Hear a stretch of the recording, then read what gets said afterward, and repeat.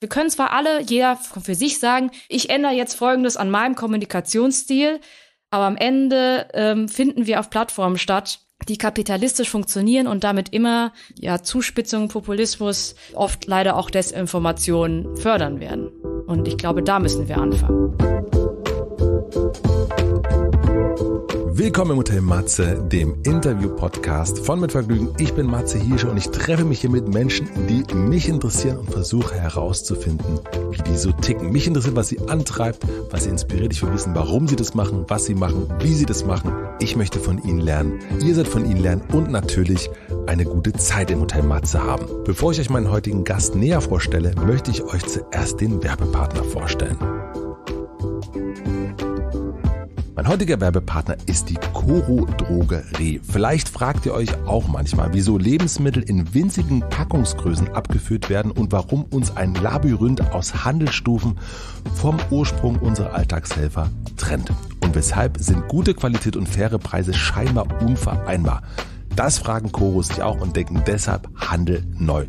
Ihre Großpackungen sind dabei ein Zeichen ihres Ansatzes, einen bewussten Konsum zu etablieren. Dazu hat Coro kürzlich die Preise gesenkt, um das Einkaufen für euch noch attraktiver zu machen. Spätsommerzeit ist bei uns immer Grillzeit und auch da wird man bei Coro fündig. Deswegen habe ich bei meiner letzten Bestellung ordentlich was für einen Grill bestellt und das könnt ihr auch. Bio-Bratwurst, Tofu-Bratwurst, Grillzange, Soßen, all das gibt es auch bei Coro. Für eure nächste Bestellung gibt es 5% Rabatt auf das gesamte Sortiment, wenn ihr den Code Hotel Matze, das wird groß und zusammengeschrieben, eingebt. Den Link und den Code findet ihr wie immer in den Shownotes. Vielen herzlichen Dank an meinen Werbepartner Coro Drogerie für die Unterstützung. Und nun zu meinem heutigen Gast. Mein heutiger Gast ist Thi Nguyen Kim. Thi Nguyen Kim ist Wissenschaftskommunikatorin. Ich bin mir ziemlich sicher, ihr kennt ihre MyLab Videos auf YouTube, in denen sie Wissenschaft verständlich erklärt. Und das macht sie auch im Fernsehen in ihrer Show My Think X. Sie ist Autorin von zwei Bestsellern, promovierte Chemikerin und seit Corona eins der Gesichter der Wissenschaft. Wir sprechen über das Wunder und die Grenzen der Wissenschaft, über die Verantwortung von Medien und Wissenschaft. Es geht um Puzzle, Elefanten und die Informationskrise. Was ist Force Balance und was sind die Sorgen, die sich MIT gerade macht? Wir reden über religiöse Momente, Urlaub mit dem Kind, Glück und ihre Zeitrechnung. Vor allen Dingen wollte ich von ihr, der Wissenschaftskommunikatorin, wissen, was kann man wissen? Ich wünsche euch viel Vergnügen im Hotel Matze mit Mighty Nguyen Kim.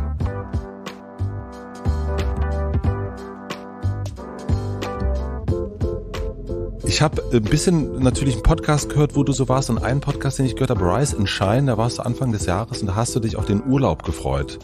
Ähm, und ich äh, fragte mich, ist es zu dem Urlaub gekommen? Äh, äh, Sehe ich da, äh, blicke ich in ein erholtes Seh Gesicht äh, oder ist es nicht Kannst dazu gekommen? Nicht sehen. Ich Siehst du nicht, wie erholt ich aussehe?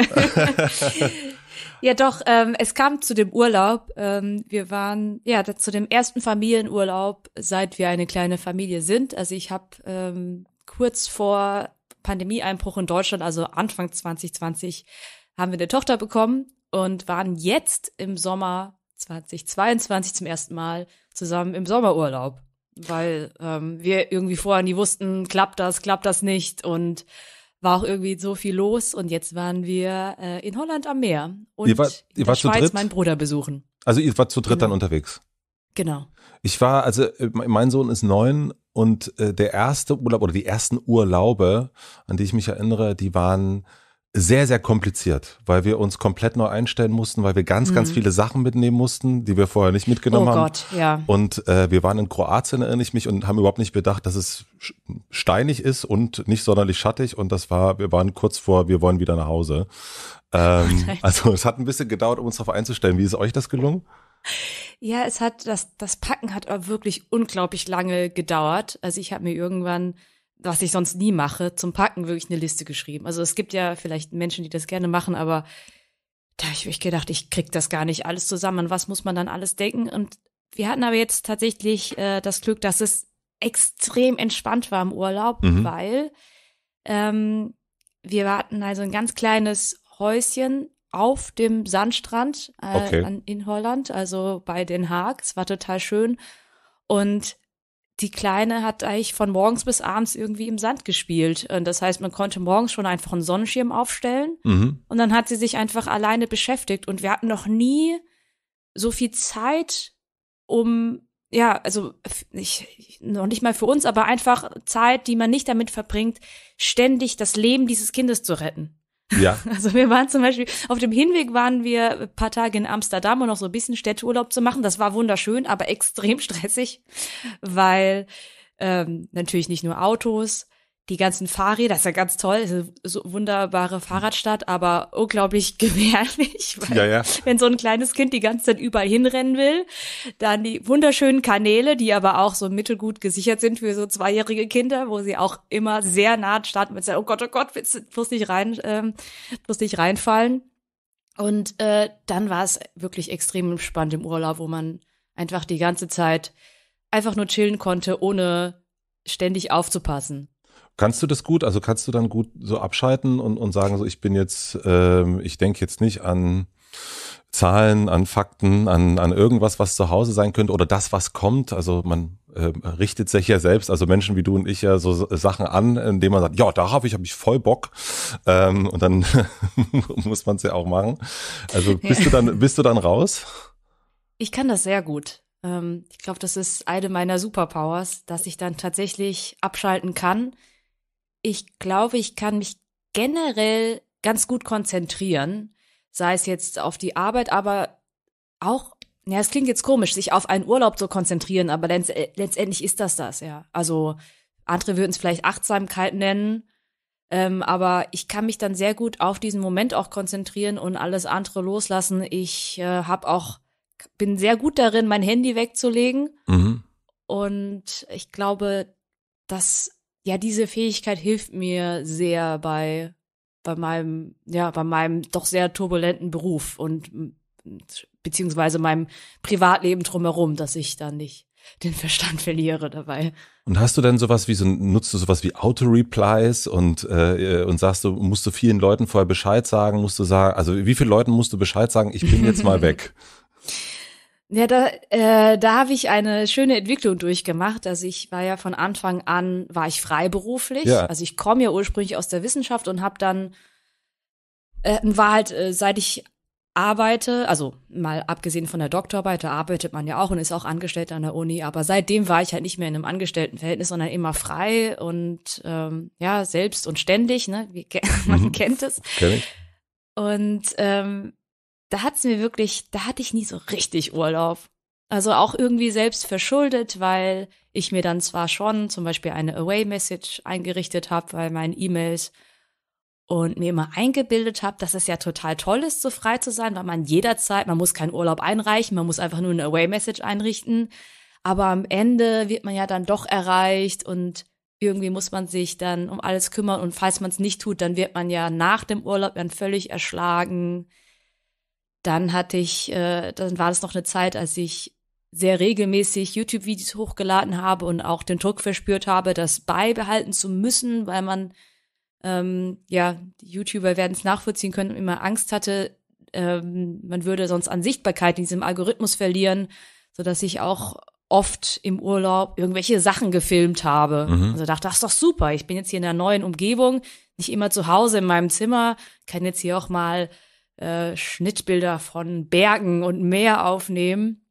Und äh, ja, weil das natürlich auch alles so viel Spaß macht, habe ich das auch nicht unbedingt immer als Arbeit so wahrgenommen. Aber jetzt im Nachhinein denke ich, ja, das war schon nicht so gesund. Und ähm, seit zwei Jahren, also zwei, 2020, habe ich ein ganz tolles Management gefunden. Liebe Grüße an Konstanze und Team, mhm. ähm, die meine Lebensqualität wirklich um ein Vielfaches erhöht haben, weil ähm, sie mir jetzt ganz viele, ganz viel organisatorische Arbeit, auch ganz viel Mental Load abnehmen und natürlich dann auch mir echte Urlaube ermöglichen, weil jetzt muss ich mir nicht mehr viel Gedanken machen. Ich habe jetzt auch eine Away-Message, aber ähm, da weiß ich, ich muss mich jetzt wirklich um gar nichts kümmern und muss auch gar nicht mal rein, gar nicht erst reinschauen. Und äh, ja, das ist unglaublich viel wert. Und das heißt, dass du das, was du machst, als Arbeit begreifst, ist dann auch erst seit zwei Jahren so, dass du sagst, nee, das ist Arbeit und davon muss ich mich auch mal erholen? Ja, so richtig bewusst, auch emotional bewusst, ist es mir tatsächlich erst seit meiner Tochter. Mhm. Ähm, denn meine Arbeit ist schon sehr cool. Mhm. ich wüsste auch nicht, was man daran verbessern könnte. Also wenn, wenn du mich jetzt fragst, was könnte, was könnte anders sein, dann würde ich sagen, ja, eigentlich nichts. Das ist, ich, also die beste Arbeit, die ich mir vorstellen kann. Mhm. Ähm, und ja, also ich glaube, ich war, gleichzeitig war ich auch schon immer ein großer Familienmensch. So ist es nicht. Und ich glaube, der, der springende Punkt bei meiner kleinen Tochter ist, dass so ein Kind so wahnsinnig schnell aufwächst. Mhm. Und die, die Vergänglichkeit der Zeit, weißt du, die, du hast die Vergänglichkeit der Zeit irgendwie personifiziert durch, durch so ein Kind. Und ich, es fühlt sich wirklich an, als würde, ich kann es fast schon fühlen, wie dir die Zeit durch die Finger rinnt. Also zwei Wochen vergehen mhm. und das Kind ist ein völlig neues. Mhm. Ähm, jeden Tag äh, schaue ich mir ähm, ich habe ich hab meine, alle meine Fotos und Videos in so einer Cloud gesichert. Äh, die bestehen zu, die bestehen zu 90 Prozent aus meiner Tochter. Und jeden Tag um 12 Uhr schaue ich mir die Rubrik an, an diesem Tag vor einem Jahr und an diesem Tag vor zwei Jahren. Und äh, das ist halt so ganz bittersweet, weil ich immer denke, oh krass, dieses Kind, dieses kleine Kind, das, das gibt's nicht mehr. Das kommt nie wieder. Und ich glaube, das ist so eine Erkenntnis, die sehr vieles in meinem Leben so neu priorisiert hat. Also nicht nur, dass ich äh, unglaublich, dass es nichts Wertvolleres gibt, als Zeit mit ihr zu verbringen, sondern man kriegt dadurch auch einen neuen Blick auf die eigene Zeit und das eigene Leben und ein Bewusstsein dafür, dass ja auch ich mag mich vielleicht nicht so sehr verändern wie sie, aber auch diese, jede Zeit, die ich jetzt habe, kommt ja auch so nicht wieder. Und ich glaube, das hat mir einfach ein gesünderes Verhältnis zu meiner Arbeit gegeben. Meistens ist ja das, was, was man Arbeit nennt, hat ja sehr viel mit Plan zu tun. Also auch in die Zukunft planen, den Terminkalender planen, die äh, und so weiter und so fort und versuchen, dass man das irgendwie kontrolliert kriegt. Du hast von deinem Management gesprochen. Hat sich durch diese neue Aufmerksamkeit auch das Gefühl verändert, deine Zeit überhaupt managen zu können? Ja, hier, es kam mir jetzt sehr viel zusammen ähm, in den letzten zwei Jahren. Einmal diese nochmal explodierte Aufmerksamkeit, mhm. die ja schon vor der Pandemie, finde ich, für jemanden wie mich, die über Wissenschaft spricht, schon höher war, größer war, als ich es je erwartet hätte. Und dann ist es halt wirklich eskaliert, explodiert. Ähm, dann diese große private Umstellung ähm, mit dem Mutterwerden aber auch dann diese wahnsinnige Unterstützung, Erleichterung durch das Management. Es kam eben alles zusammen. Und erstaunlicherweise unterm Strich komme ich, komme ich gerade besser klar mit, mit der Organisation und allem, aber eben weil ich eben, weil ich die Hilfe habe und die Unterstützung habe. Und hast du versucht, aber am Anfang das zu kontrollieren und lässt das jetzt so ein bisschen los? Also das versucht man ja immer, also auch so, wenn man Aufmerksamkeit ähm, sozusagen zu viel kriegt oder zu viel Arbeit und so weiter. Also das versucht, man versucht es ja zu managen, eigentlich, also so kenne ich das zumindest, und auch damit zu kontrollieren. Und irgendwann merkt man ja aber eigentlich, also gerade in, in so einem Fall, wie es bei dir ist, es ist so groß, man kann es eigentlich nicht mehr kontrollieren. Bei mir hat das eher ausgelöst, also seit die Aufmerksamkeit auf mich so groß ist, ähm, merke ich, dass ich immer weniger ähm, das Gefühl habe, ich müsste jetzt äh, unglaublich viele Sachen machen. Darunter äh, habe ich zuvor äh, sehr gelitten, also unter einer gewissen FOMO, also Fear of Missing Out, mhm. ähm, denn gerade ich, ich, nicht nur weil ich meine Arbeit liebe, sondern auch weil ich ja so sehr davon überzeugt bin, dass es eine wichtige Arbeit ist und dass es wichtig ist, über Wissenschaft zu reden, über Wissenschaft aufzuklären. Und es gibt so viele tolle Projekte. Und ähm, das war immer ganz schwierig für mich dann aus Zeitgründen einfach abzusagen. Und das hat sich, glaube ich, jetzt in meinem Mindset dann doch etwas geändert, wo ich weiß, okay, die Aufmerksamkeit ist so groß, dass man so ein bisschen auch die Lust daran verliert, äh, ständig äh, in diesem im Mittelpunkt zu stehen. Und äh, es ist jetzt viel mehr so, dass ich eine in meinem Kopf eine Default-Einstellung habe, mhm. dass ich sage, ich habe meine meine Standardsachen, ich habe MyLab, ich habe TerraX, ich habe MyThinkX, das ist schon mehr als genug. Voll. Und meine Default-Einstellung ist, das war's, mehr mache ich nicht. Und nur wenn irgendetwas ganz Besonderes daherkommt, wo ich sage, da kann ich jetzt nicht widerstehen, wie zum Beispiel Hotel Matze, dann, dann, dann mache ich das, ja. Aber sonst grundsätzlich ist es so, der, der Default ist nein. Und das finde ich sehr befreiend. Und ich glaube, das wurde katalysiert durch diese extreme Aufmerksamkeit, weil man natürlich ähm, ja, man hat genug. Ja, es ist einfach jede, jeder weitere Auftritt in der Öffentlichkeit ist eigentlich schon so ein bisschen zu viel, weil ich denke, ich habe eh schon, ich bin, ich, es ist eh schon so viel, wie ich jetzt auch als als privater Mensch irgendwie auch, ähm, ja, ich will nicht sagen aushalten kann, aber doch, also ich ich cope damit, also ich gehe, ich ich ich gehe damit eben so um, dass ich ja, Stichwort Handy weglegen, mich immer, wenn ich dann halt nicht arbeite, auch überhaupt nicht mit mir beschäftige oder was Leute sagen, schreiben und mich einfach sehr ins, ins Private zurückziehe und das halt einfach auch sehr genieße. Super, dass du das kannst. Und, musstest du dieses Default, musstest du das üben oder ist das auch eine deiner Superpower-Kräfte, dass du sagen kannst, äh, ich, ich weiß das jetzt, ich habe, also das ist ja so eine, es gibt ja ein ich glaube, begreifen tun das ja sehr viele. Also äh, wir wissen das, das ist nicht gut. Äh, mein Kind ist neben mir und ich gucke aufs Handy. Ähm, mhm. Und dennoch können das ja ganz viele oder äh, dieses Fear of Missing Out. Ja, ich weiß, dass Fear of Missing Out ist und trotzdem, das ist doch echt eine super Möglichkeit, auf dieser Party zu tanzen und so weiter und so fort. Äh, musst du das üben oder ist das auch so? Kannst du das einfach? Nee, ich musste das vorher üben und ich, also ich wurde, glaube ich, auch langsam immer besser Mhm.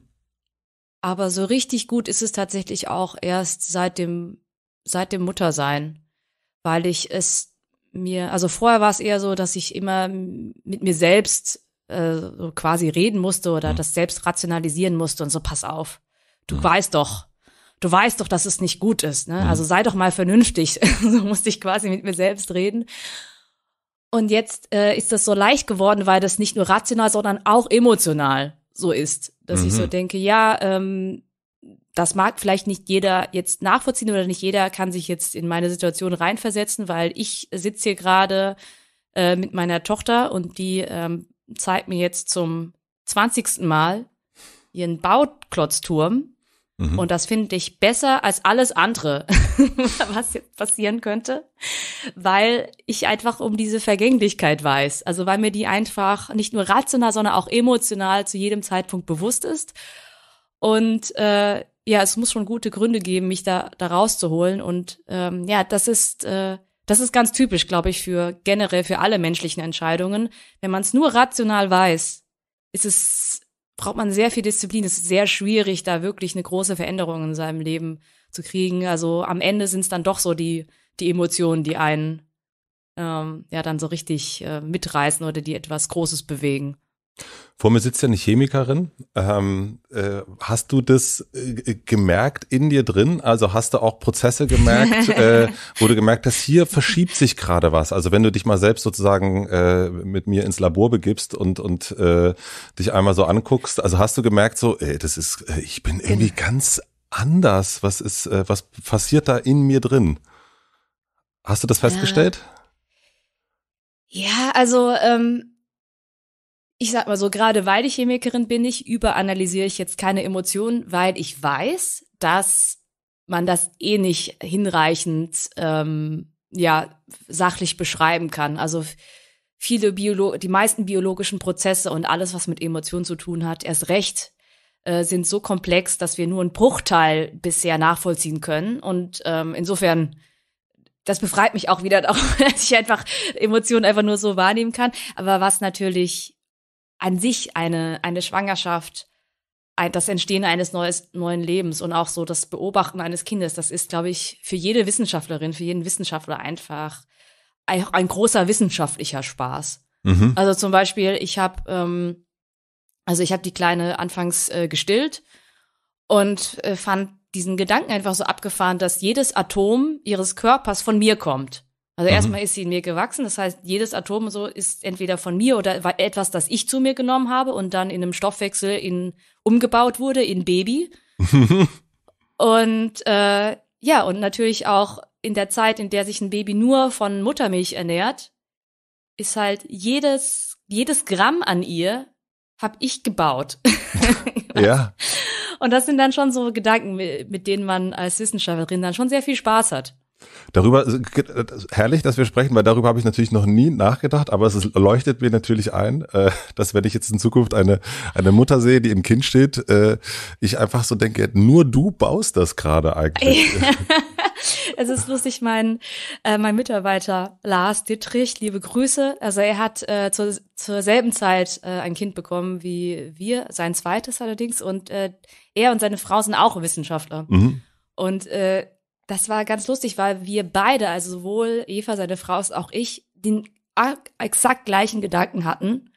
und ähm, sie dann nostalgisch war oder so ein bisschen nostalgisch war an dem Tag, wo sie angefangen haben mit Beikost. Er sagt, oh, das ist jetzt der Tag, wo nicht mehr jedes Atom in diesem Körper von mir kommt, sondern von dieser, von diesem Möhrenpüree. Von dieser Welt. also, mhm. Von irgendjemand ja, anders, der das gebaut hat. Also es ist äh, letztendlich, wenn man schon in so einer, wenn man schon so eine Nerd oder eine naturwissenschaftliche Brille aufhat, sind manche Gedanken halt ganz naheliegend. Das ist auch immer ganz schön zu sehen, ähm, ja, wenn sich so Nerd-Connections aufbauen.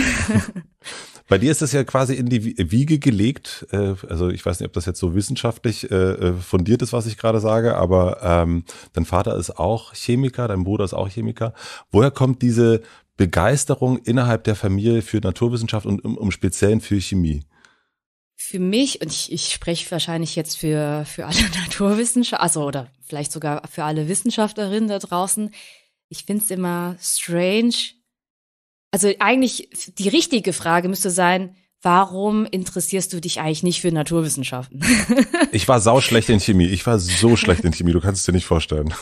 Also, da das jetzt mein Job ist, äh, das zu vermitteln, äh, kenne ich auch viele der Antworten. Aber eigentlich ist es doch, äh, gerade wenn man jetzt Kinder anschaut, diese Neugier zu verstehen, wie funktioniert etwas. Die Neugier auch wie funktioniere ich eigentlich? Wie funktioniert mein Körper? Wie funktioniert dieser wahnsinnige Sternhimmel, den ich da sehe, wenn ich nachts rausgucke? Das ist schon, glaube ich, etwas Grundmenschliches. Kann man ja auch historisch nachvollziehen, dass sich die Menschen das schon immer gefragt haben. Und die, und viele Antworten oder die Suche nach der Antworten liegen eben in den Naturwissenschaften. Und ich glaube, das, was eben viele davon abbringt, meistens in der Schulzeit, sind eben so unglaublich trockene, abstrakte, zum Beispiel Chemie unterrichte, ähm, die dieses, ja, dieses, dieses Wunder der Natur und dass sich Fragen vielleicht so ein bisschen kaputt machen durch, oh, das ist jetzt irgendwie total kompliziert und abstrakt und vor allem ich verstehe es nicht. Äh, ich kann das schon nachvollziehen, wenn man dann quasi der Chemie oder einer Physik äh, den Rücken zukehrt. Ähm, und ich glaube, mein Vorteil war, ähm, dass mein Papa, der ja Chemiker ist, dass das nie so typisch, ja, es, Chemie war für mich, ich glaube, ich hätte es damals gar nicht als, als Wissenschaft oder so bezeichnet oder wahrgenommen, weil das viel mehr so eine Art Lebenswissen war. So schien es mir zumindest. Also mein, mein Papa konnte immer auf alle Warum-Fragen, die so Kinder haben, sehr gut antworten. Mhm. mein Papa kann auch äh, sehr gut kochen. Also nicht nur kann, also meine Eltern können beide äh, sehr gut kochen. Ähm, nur meine Mama macht das in erster Linie aus Liebe heraus und findet es aber trotzdem, ich glaube, das ist trotzdem halt eine Anstrengung für mhm. sie, die sie halt gerne aufnimmt für ihre Liebsten. Und bei meinem Papa ist es halt wirklich auch eine Leidenschaft. Er würde das auch einfach so machen, nur für sich kochen, ähm, weil er darin richtig aufgeht. Und ja, das auch, konnte auch immer alles erklären, chemisch. Warum wird jetzt die Soße dick? Was passiert jetzt hier und da? Und ähm, ja, auch sein Spruch war, alle Chemiker können gut kochen. Und wer nicht gut kochen kann, ist auch kein guter Chemiker. Und das ist, glaube ich, eine, eine Verbindung, eine ganz frühe Assoziation mit Chemie, die die wenigsten haben, weil die allermeisten verstehen unter Chemie im coolsten Fall äh, Explosionen mhm. Und äh, Drogen kochen. so das coolste Klischee. Aber das Uncoolere, was dann viel mehr haben, ist halt äh, giftig, unnatürlich und so weiter und dass Chemie natürlich alles ist, was irgendwie mit Molekülen zu tun hat. Also alles, was irgendwie auf der Welt, äh, also alles, was mit Materie auf dieser Welt zu tun hat, ist natürlich Chemie und Kochen natürlich auch. Und wenn man so eine schöne ähm, und auch ja haptische Assoziation hat, dann ähm, hat man natürlich von vornherein einen anderen Zugang. Und ich glaube, das war am Ende auch der springende Punkt, den mich zu einem Chemiestudium bewegt hat. denn meine, mein Chemieunterricht war auch jetzt nicht super inspirierend. Ich hatte tatsächlich auch Physik-Leistungskurs und nicht mhm. Chemie. Ähm, ja, aber wenn mein, ohne meinen Papa wäre ich, hätte ich, wäre ich, hätte ich wahrscheinlich Physik gemacht, aber durch ihn hatte ich halt immer diesen, hatte ich sehr früh die Erkenntnis, dass Chemie unglaublich alltagsnah und äh, ganz anwendungsnah ist und ähm, sehr, sehr weltnah ist einfach. Es gibt ja aber auch schon ein paar Menschen, würde ich sagen, die sagen, naja, also mein Papa oder meine Mama, die, die machen das und das machen die auch ganz gut, aber ich will auf jeden Fall nicht das machen, was die machen. Ich will auf jeden Fall was komplett anderes machen, weil äh, man sieht ja nicht nur die schönen Seiten von etwas, sondern ja auch die doofen Seiten. Man sieht ja auch, wie anstrengend das ist, wie selten man vielleicht da ist oder dass man sich nur um den Job dreht und so weiter und so fort. Gab es für dich außer, ich meine, du hast gerade Physik genannt, das große andere, also gab es für dich sowas wie eine Art äh, äh, Rebellion?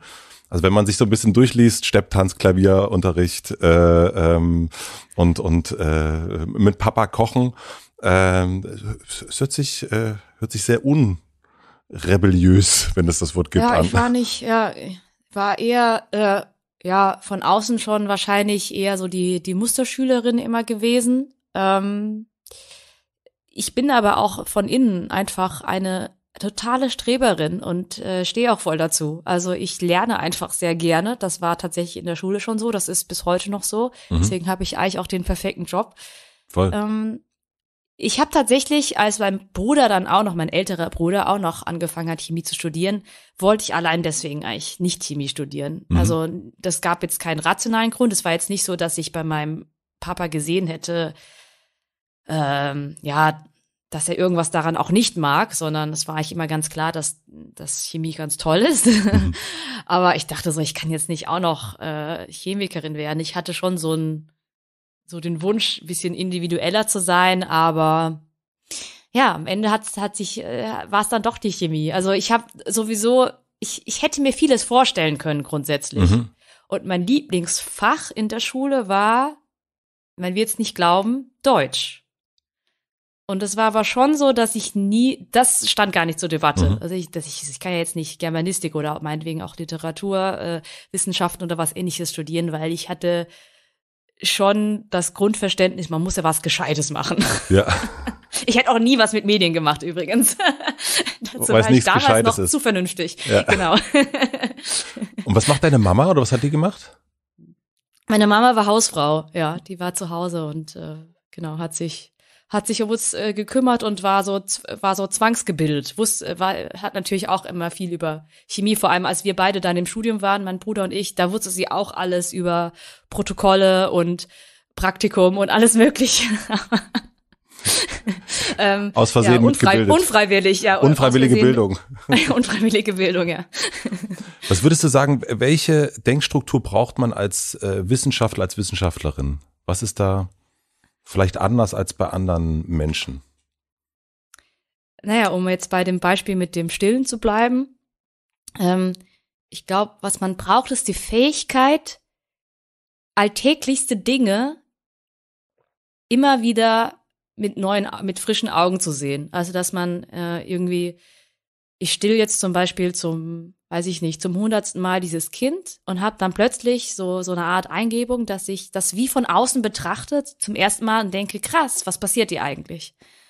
Ähm, ich glaube, gerade ähm, bei, bei Kindern können das ganz, ganz viele auch Nichtwissenschaftler nachvollziehen. Ich zumindest höre ich das überall, dass ähm, ja, wenn man selbst ein Kind im Bauch hat oder auch ähm, Vater wird, dass man sich denkt, oh krass, kann das sein? Da wächst gerade ein Mensch. Das ist ja unglaublich. Mhm. Dabei ist es natürlich einer der natürlichsten Dinge. Auf jeden Fall, ja. Der, also weil, ja klar, natürlich äh, pflanzen wir uns fort. Das ist äh, der einzige Sinn des Lebens quasi, so biologisch gesprochen. Aber diese Fähigkeit, sich dann darüber fast schon den Verstand zu verlieren, weil das so krass ist, das hat man, das habe ich äh, regelmäßig mit allen möglichen Dingen. Ne? Ich glaube, was man auch, glaube ich, gut nachvollziehen kann für alle, die keine Kinder haben, einfach der, der Nachthimmel ähm, wenn man irgendwie in die Sterne schaut und ab und zu dann diese, diese Erkenntnis hat oder sich dran erinnert, dass man gerade auf so einer kleinen Erde steht, die durch das Weltall rast und dass es da draußen noch ganz viele andere Galaxien gibt und diese Sterne unglaublich weit weg sind und diese plötzliche Demut und dieses Gefühl, ganz klein zu sein, ähm, ja, was einerseits demütig macht, aber gleichzeitig auch ein, wahnsinnig tolles Gefühl ist und vielleicht sogar ein, ja, vielleicht sogar äh, einen alltäglichen Stress, den man gerade hat, vielleicht auch so ein bisschen vergessen lässt in dem Moment. Diese, das ist dieses Mindset, glaube ich, dass man, dass man für Wissenschaft braucht. Ähm, und dann ist es natürlich dieses, ja, klassischerweise oder vielleicht auch so klischeehaft, dass man eben natürlich sehr rational ist. Ich würde nicht behaupten, dass äh, wir alle super unemotional sind, weil das sind ja eigentlich zwei verschiedene Sachen. Man kann ja gleichzeitig logisch und trotzdem äh, emotional sein, denn es ist ja nicht alles rational auf dieser Welt. Aber ja, es ist schon so, dass, dass man dann Spaß hat an kritischem, logischem Denken, dass man vielleicht auch, auch einfach Spaß daran findet, äh, sich selbst auch immer wieder in Frage zu stellen, sich gerne auch in hypothetischen Gedankenspielen verliert. Ähm, ja, und ich glaube, ein Spaß an Komplexität. Also, das ist, glaube ich, etwas, das das vielleicht auch ja eher untypisch ist, weil man normalerweise, wenn man eine Frage hat, möchte man eine klare Antwort haben. Ja. Und ich glaube, so kommt man nicht weit in der Wissenschaft. Also man muss in der, wenn dann, wenn du, wenn du Wissenschaftlerin sein willst, musst du eigentlich, wenn du merkst, oh, das ist aber viel komplizierter, als ich dachte, da musst du leuchtende Augen kriegen. Wenn du merkst, oh, das ist gar nicht äh, schwarz oder weiß, da gibt ganz, ganz viele Grautöne zwischendrin, die will ich jetzt alle erforschen oder versuchen nachzuvollziehen. Das ist so der wissenschaftliche Spirit. Habe ich das richtig verstanden? Also das erste, äh, was du, äh, es ist eigentlich so den, die Welt viel, viel größer zu sehen, so scheint es mir gerade. Also sozusagen, dass du auch den, den, einen ganz anderen Maßstab hast, sowohl im Großen, wenn du jetzt irgendwie die, dich in der Welt verortest, aber auch äh, wenn man sich jetzt, keine Ahnung, wenn ich mir ein Labor äh, vorstelle und da ist ein Mikroskop und dann schaut man so durch und dann ist, ist was ganz Kleines ja auch was ganz, ganz Großes. Ja. Habe ich das richtig verstanden? Also, dass das dann dieses, dieses Maßstabdenken unter Umständen anderes Denken ist, als ich das wahrscheinlich habe, als Nichtwissenschaftler? Ja, ich glaube, es entsteht durch Kontext, wenn man sich selbst eben in den Kontext dieser großen Welt setzt, sei es mhm. jetzt das große Universum oder die vielen Moleküle und Atome und Teilchen, die wir gar nicht sehen und insofern auch quasi unsichtbar sind für uns oder nicht erfahrbar, wenn man versucht, sich das doch erfahrbar zu machen, sichtbar zu machen, vor Augen zu führen, dann wird, ja, dann wird die Welt größer. Das stimmt, ja. Und dieses ähm, Diskutieren äh, mit sich selbst, äh, mit, dem, mit, dem, mit dem Komplexen, ähm, gibt es Momente für dich, wo dir das zu anstrengend wird? Also wo du merkst, boah, äh, jetzt leck mich, also das eine ist, ich verstehe das, ne? Also das, ich kenne auch den, den Drang nach Vereinfachung und weiß aber, dass auch Vereinfachung sehr, sehr schwierig ist und dass es sowieso nicht geht. Äh, und dann umarme ich das Komplexe und sage, es ist ja voll super, dass wir Menschen so komplizierte Wesen sind. Und dann denke ich mir manchmal, oh, muss es denn so kompliziert sein? Können wir nicht ein bisschen hier, wenigstens hier an dieser Stelle. Kennst du das? Oder bist du Jein. eine, eine, Jein, also, okay. Jein, also ähm, nee, ich find's eigentlich immer, immer cool, wenn's äh, komplex wird. Aber ähm, jetzt in, wenn wir jetzt in mediale und öffentliche Debatten gehen, mhm. dann gibt's natürlich immer wieder ähm, so Scheindebatten oder ähm, ne, wo man irgendwie, sagen wir, um es jetzt mal einfach zu machen, wir haben jetzt einen Fakt wie der Klimawandel ist menschengemacht. Und dann kommt halt immer wieder, immer wieder jemand dahin und sagt, ja, ist es denn so? Äh, und macht das dann dadurch äh, quasi kompliziert. Und das, da kriege ich natürlich die Krise, weil okay. das, mhm. da, äh, das ist jetzt wirklich Zeitverschwendung. Mhm. Das haben wir doch jetzt geklärt. Es gibt doch so viel andere Komplexitäten und Unsicherheiten. Darüber können wir doch reden, aber nicht, aber jetzt nicht äh, irgendwie rückwärts gehen oder stehen bleiben ähm, sondern irgendwie, wenn wir schon streiten, diskutieren, dann bitte vorwärts schreiten und nicht irgendwie ähm, also, ja auf der Stelle oder rückwärts. Und äh, deswegen jein. Also heißt, okay, da, das heißt du die, ähm, äh, also, also solange es äh, zukunftsorientiert ist, dann ist es okay. Nicht unbedingt zukunftsorientiert. Oder, oder jetzt aber, orientiert auch, kannst ja auch ja, momentorientiert. Also letztendlich, das Schöne bei der Wissenschaft, das, das ist manchen vielleicht gar nicht so bewusst oder sehen, die, viele sehen das vielleicht gar nicht so, dass Wissenschaft eigentlich um einen, immer um einen Konsens, einen neuen Konsens ringt. Also man sucht eben mhm. die, also das ist ganz grundlegend anders als Debatten, die politisch, gesellschaftlich, emotional, ähm, ideologisch und so weiter sind. Da geht es oft darum, Standpunkte zu verteidigen. Und ähm, in meinen Augen ist es in der Wissenschaft grundsätzlich anders, dass man sagt, wir haben einen bestimmten, einen bestehenden ja, Stand der, des Wissens. Das ist der aktuelle Konsens. Und ähm, vieles davon wissen wir zum Beispiel nicht. Äh, wir, und viele Fragen sind noch offen und die, äh, die erforschen wir. Und gerade bei neuen Fragen ähm, stoßen wir auf widersprüchliche Erkenntnisse, die vielleicht, ähm, ja, vielleicht auch nur auf den, auf den ersten Blick widersprüchlich sind. Ähm, ich ich bin hier im Labor, ich, ich, ich forsche hier an einem kleinen Puzzleteil und dann kommen wir zusammen, wir legen unsere Puzzleteile zusammen, wir, wir gleichen die ab, wir streiten uns, aber das Ziel ist es, den, den aktuellen Stand des Wissens zu erweitern. Mhm. Manchmal kann es sogar vorkommen, es ist nicht oft, aber historisch äh, haben wir das schon immer wieder gehabt, dass es sogar Paradigmenwechsel gibt. Dass wir sagen, oh krass, alles, was wir bisher wussten, ist äh, irgendwie ganz anders. Wir haben jetzt eine neue Theorie gefunden, die alles, was wir beobachten können, noch besser beschreibt. Mhm. Und dann wird nochmal alles umgeworfen. Und aber das Ziel ist eben immer, sich am Ende auf einen neuen Konsens zu einigen. Und das finde ich das Tolle. Das ist auch das Konstruktive an Wissenschaft. Deswegen, ja, man kann sagen, in die Zukunft gedacht, also voran, also vorwärts streiten, aber auch ganz grundsätzlich, dass man sagt, das Ziel ist es zu sehen, wo, wo sind wir, wo können wir ein konsistentes Bild schaffen? Wo sind vielleicht auch die, die Überschneidungen zwischen unseren beiden konträren Ansichten?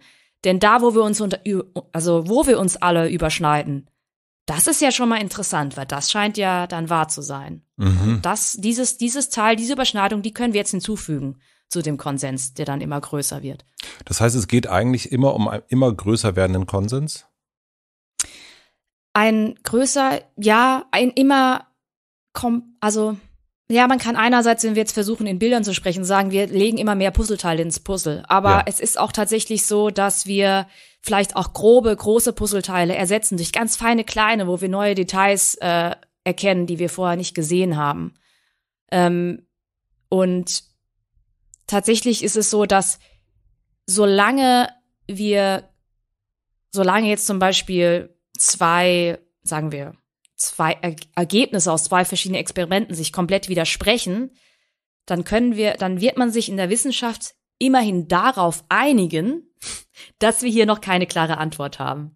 Und das finde ich halt das Schöne, dass man eben sagt, in der Wissenschaft ist äh, vieles noch unbekannt und vieles unsicher und viele Fragen sind offen, aber innerhalb der wissenschaftlichen Community gibt es zumindest Einigung darüber, was wir noch nicht wissen. Und das ist halt sehr schön. Und äh, medial wird es oft leider äh, verzerrt, weil ähm, medial ist dann oft so, dass äh, ja, ähm, öfter mal False Balance zum Beispiel auftritt, also falsche, ähm, wörtlich übersetzt, falsche Balance. Das ist, wenn, wenn in, in Medien ähm, zwei VertreterInnen aus der Wissenschaft quasi im Meinungsaustausch gegeneinander antreten und eine Person vertritt den bestehenden Konsens und andere vertritt eine Meinung, die völlig jenseits oder einfach konträr ist, aber von keinerlei Evidenz eben unterstützt wird.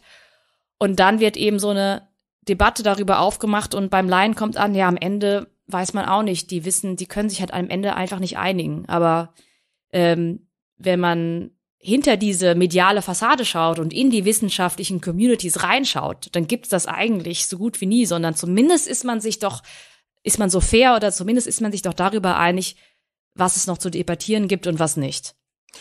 Ich komme äh, gleich nochmal auf diese Force Balance. Ich würde nur äh, gerne noch einmal einen, einen Schritt zurückgehen und zwar, weil du das, das Bild des, des Puzzles genommen hast, äh, was ich super spannend finde. Und eigentlich geht's ja beim Puzzeln, bestenfalls haben wir das Ding irgendwann zusammen, und äh, schlimmstenfalls packen wir es in einen Bilderrahmen und hängen es an die Wand.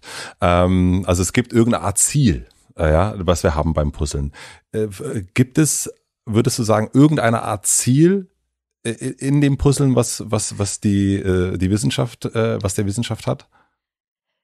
Ähm, du lachst. Nee, also ja, ich lache, weil ähm, das Bild an diesem Punkt aus, also die die Metapher ähm, kann kann nicht standhalten. Also es ist ganz schön, weil du hast jetzt die Metapher genommen und sie logisch zu Ende gedacht mhm. und damit gezeigt und damit die Grenzen aufgezeigt. Mhm. Ähm, weil Wissen Wissen ist nie vorbei. Zumal wir ja auch nur durch unsere durch unsere selbstgemachten zum Beispiel Instrumente die Welt erfahren können, wie sie ist. Wir können sie immer nur versuchen zu beschreiben. Wir können nie wirklich, wir, wir können nie am Ziel sein. Und selbst selbst das, was du und ich sehen, wenn ich, wenn du jetzt auf deine Hand schaust und denkst, ich sehe jetzt hier meine Hand von meinen eigenen Augen, Mhm. in Wirklichkeit siehst du, wenn du es ganz genau nimmst, nur den Output deines Gehirns.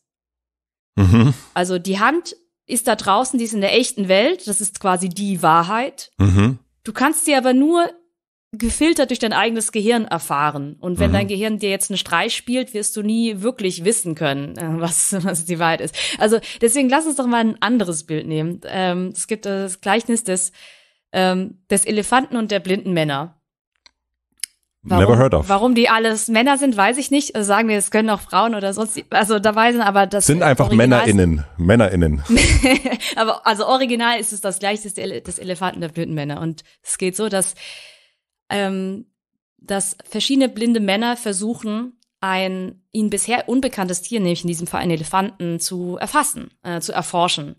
Aber da sie halt nicht sehen können, können sie äh, nur was ertasten und der Elefant ist sehr groß und jeder steht nur, jeder hat nur einen bestimmten Bereich, den er ergreifen kann. Also der eine ist, kann so ein bisschen den Fuß ertasten, der andere ist da am Rüssel, der andere äh, hatte irgendwie den, den, ähm, ja, den, die, die Stoßzähne und so weiter. Und dann kommen sie alle zusammen und dann sagt der, der bei den Stoßzähnen war, ja, das ist so ein, das ist irgend so ein knochiges, ein knochiges Wesen, vielleicht sowas wie ein Hummer, nur etwas größer. Dann sagt er, das ist totaler Quatsch. Also hier, äh, das war ganz klar etwas Weiches und da kam auch äh, wa- warme Luft raus, sagt der, der am Rüssel war und so Mhm. weiter. Und ähm, am Ende muss man eben gucken, passt das denn zusammen? Ja, können sie denn zusammenkommen und sich ein, ein Bild gemeinsam von dem Elefanten zusammenlegen? Und das Schöne an diesem, an dieser Metapher ist, dass wir auch in der Wissenschaft nicht diese eine Messmethode oder so haben, sondern ähm, ne, ich kann an dieser Stelle kann ich vielleicht was physikalisch messen, an einer anderen Stelle kann ich irgendwas äh, beobachten. Äh, wieder, an, der- wieder an einer anderen Stelle kann ich, äh, wenn ich zum Beispiel wissen will, was denken Menschen, dann kann ich sie eigentlich nur befragen. Ich habe keine bessere Methode als das. Und am Ende muss ich alle verschiedenen Studien, Methoden zusammentragen, gucken, gibt es irgendeinen Sinn, kriege ich sowas wie ein Tier zusammengesetzt?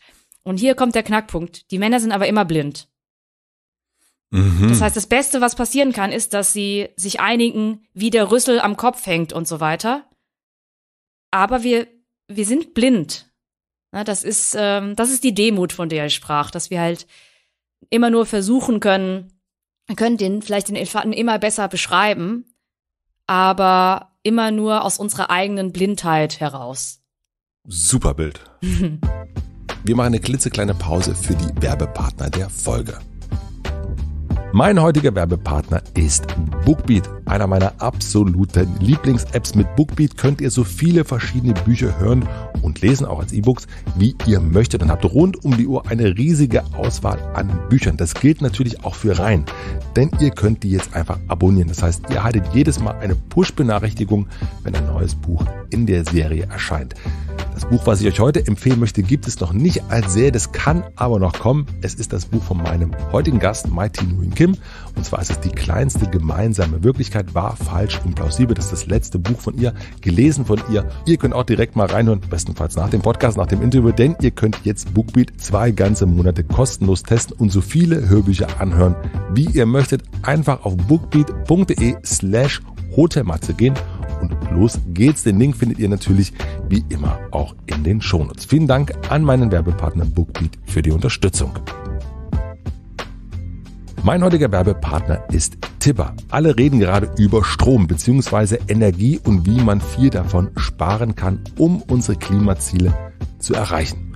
Technologischer Fortschritt auf der einen Seite und individuelles Sparen auf der anderen. Tipper ist eine Mischung aus beidem. Die erste wirkliche Innovation für euer Zuhause, damit ihr die Energiewende aktiv unterstützen könnt. Tipper hilft, Strom dann zu verbrauchen, wenn er grün und günstig ist.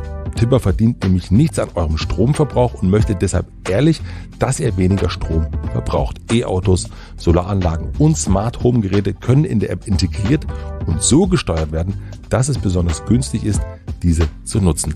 Wenn das für euch spannend und interessant klingt, dann schaut einfach mal auf tibber.com slash Matze vorbei. Geschrieben wird Tibber T-I-B-B-E-R. Dort erhaltet ihr bei Vertragsabschluss eine Gutschrift von 50 Euro in eurem Account. Den Link findet ihr wie immer natürlich auch in den Shownotes. Vielen herzlichen Dank an meinen Werbepartner Tibber für die Unterstützung. Und nun zurück zur Folge. Es gibt ja die, die, die große Frage von Kant, äh, was kann ich wissen? Äh, was würdest du ihm antworten, wenn er, wenn er, wenn ich jetzt er wäre? Oder er ich? Was kann ich wissen? Also ich habe natürlich eine sehr naturwissenschaftliche Brille drauf. Bitte. Und ähm, das spiegelt sich auch sehr in meiner Arbeit wieder. Ich rede nämlich unglaublich gerne über Methoden, über wissenschaftliche Methodik, also über das wissenschaftliche Arbeiten. Denn eigentlich Ergebnisse aus Studien oder aus Wissenschaft sind eigentlich völlig nichtssagend, wenn ich nicht weiß, mit welchen Methoden diese Ergebnisse entstanden sind. Also wenn ich nicht weiß, was gemacht wurde, also woher man etwas weiß. Und äh, das Schöne an Naturwissenschaften ist, dass man halt oft tatsächlich etwas messen kann.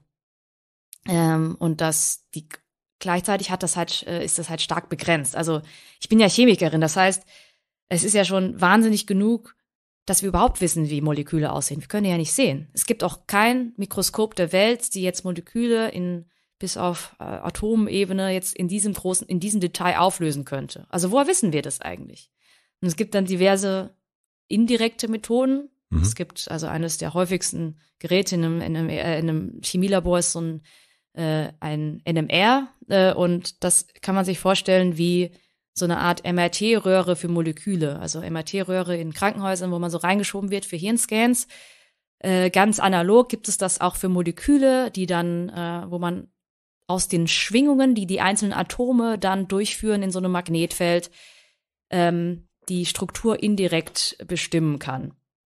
Und da muss jetzt niemand Chemie studiert haben, um zu verstehen, so eine Methode, wo ich irgendein Molekül in ein Magnetfeld schicke und dann die Struktur daraus ableite, ist eine viel ähm, ja eine viel stärkere, sicherere Methode als zum Beispiel eine wissenschaftliche zwar, aber eine Befragung, die man jetzt in einer psychologischen Studie durchführt, weil ich da ganz viel mehr Unsicherheiten habe. Äh, allein schon, weil ich mich auf Selbstauskünfte von Menschen verlasse. Mhm.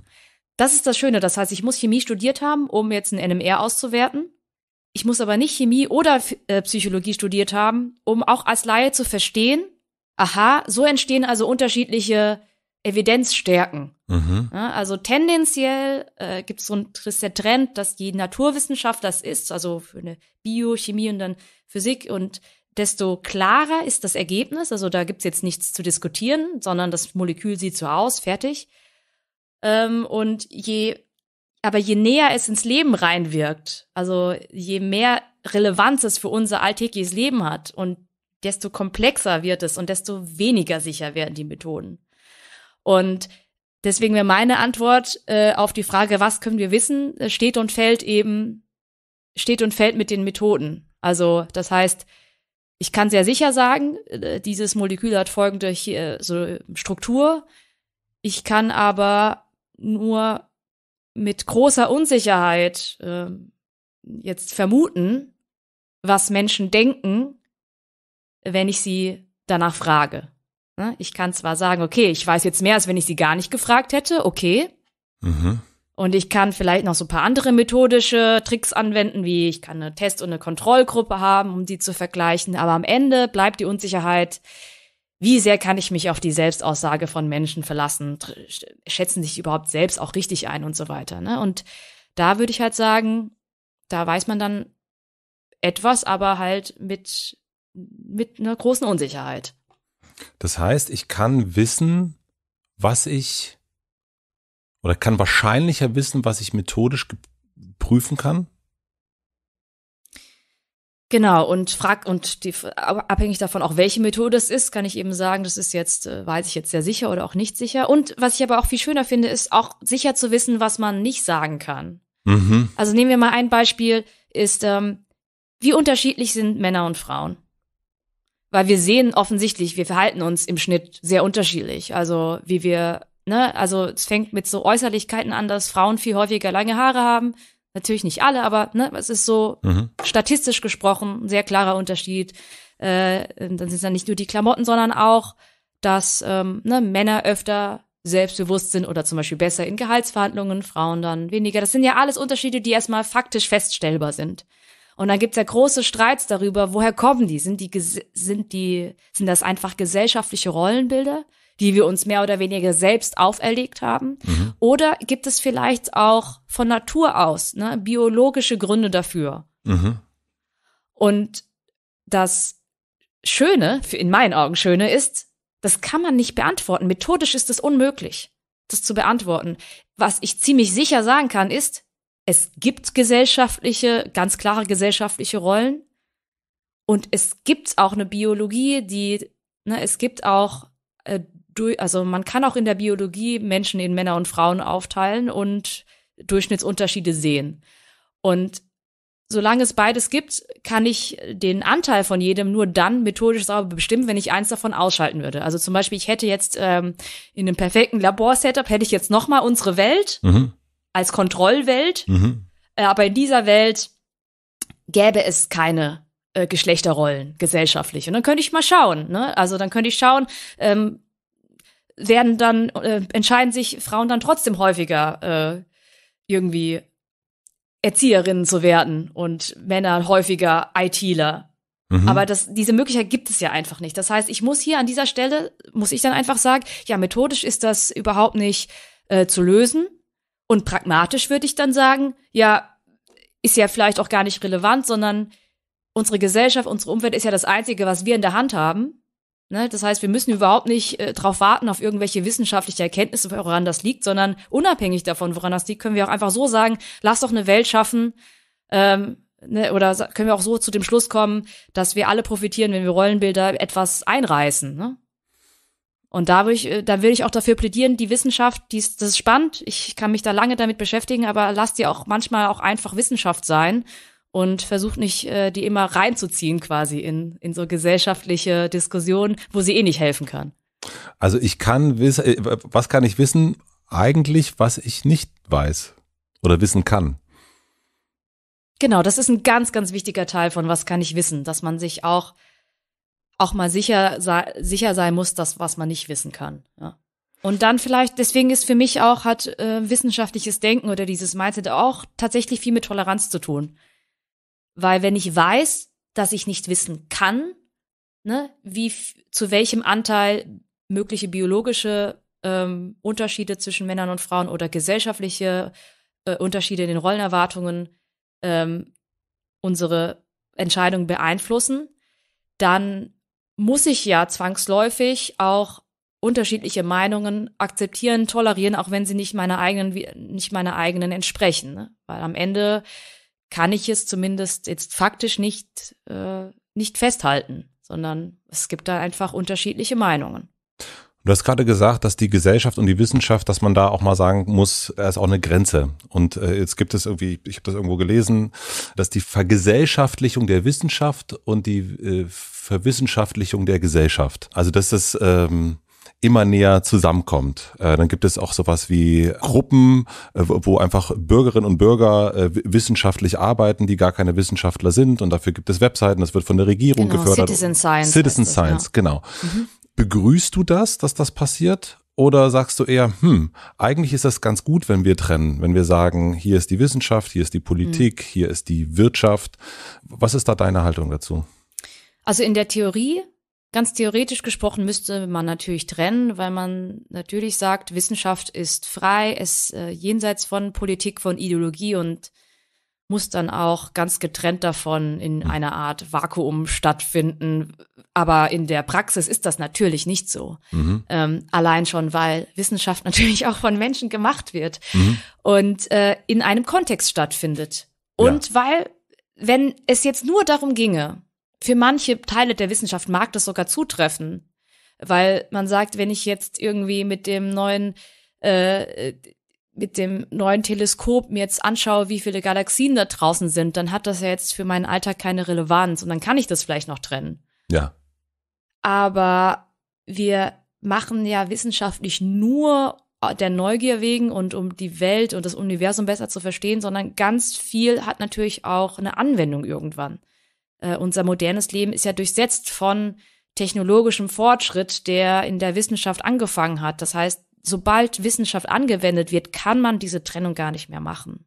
Also in meinen Augen müsste man auch hier viel mehr auf Methoden schauen. Also auf äh, die Art und Weise, wie wissenschaftliche Erkenntnisse entstanden sind und welchen Schluss man dann daraus ziehen kann. Denn äh, wenn ich jetzt zum Beispiel, ja, ich habe in, in meinem Buch jetzt, äh, also die kleinste gemeinsame Wirklichkeit, habe ich ein Kapitel über ähm, gewaltvolle Videospiele geschrieben, wo ganz viel mit Wissenschaft argumentiert wird.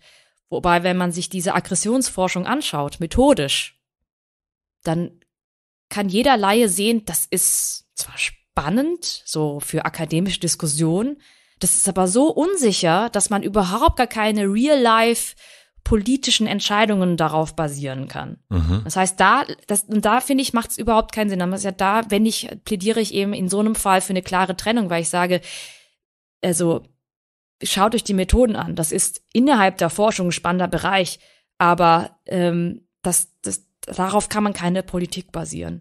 Wenn ich jetzt aber sehe, ähm, hier ähm, ne, Klimakrise, ähm, da haben wir halt so viele auch physikalische, chemische Messmethoden, äh, auf die wir uns da stützen können und jahrzehntelangen Konsens, dann muss man vielleicht sogar darauf bestehen, dass äh, Wissenschaft in politische oder dass Erkenntnisse in politische Entscheidungen mit einbezogen werden. Und ähm, das finde ich eine ganz wichtige Differenzierung, die leider oft in, in der Öffentlichkeit nicht gemacht wird, weil dann wird gerne, werden da zwei Schubladen aufgemacht. Also entweder sagt Wissenschaft die Wahrheit in Anführungsstrichen und dann muss die halt immer eine Basis sein und immer mit einbezogen werden oder mhm. Wissenschaft äh, äh ist ja, kann gar nichts mit Sicherheit sagen. So, ich weiß nur, dass ich nichts weiß und jede neue Erkenntnis kann sich morgen wieder ändern.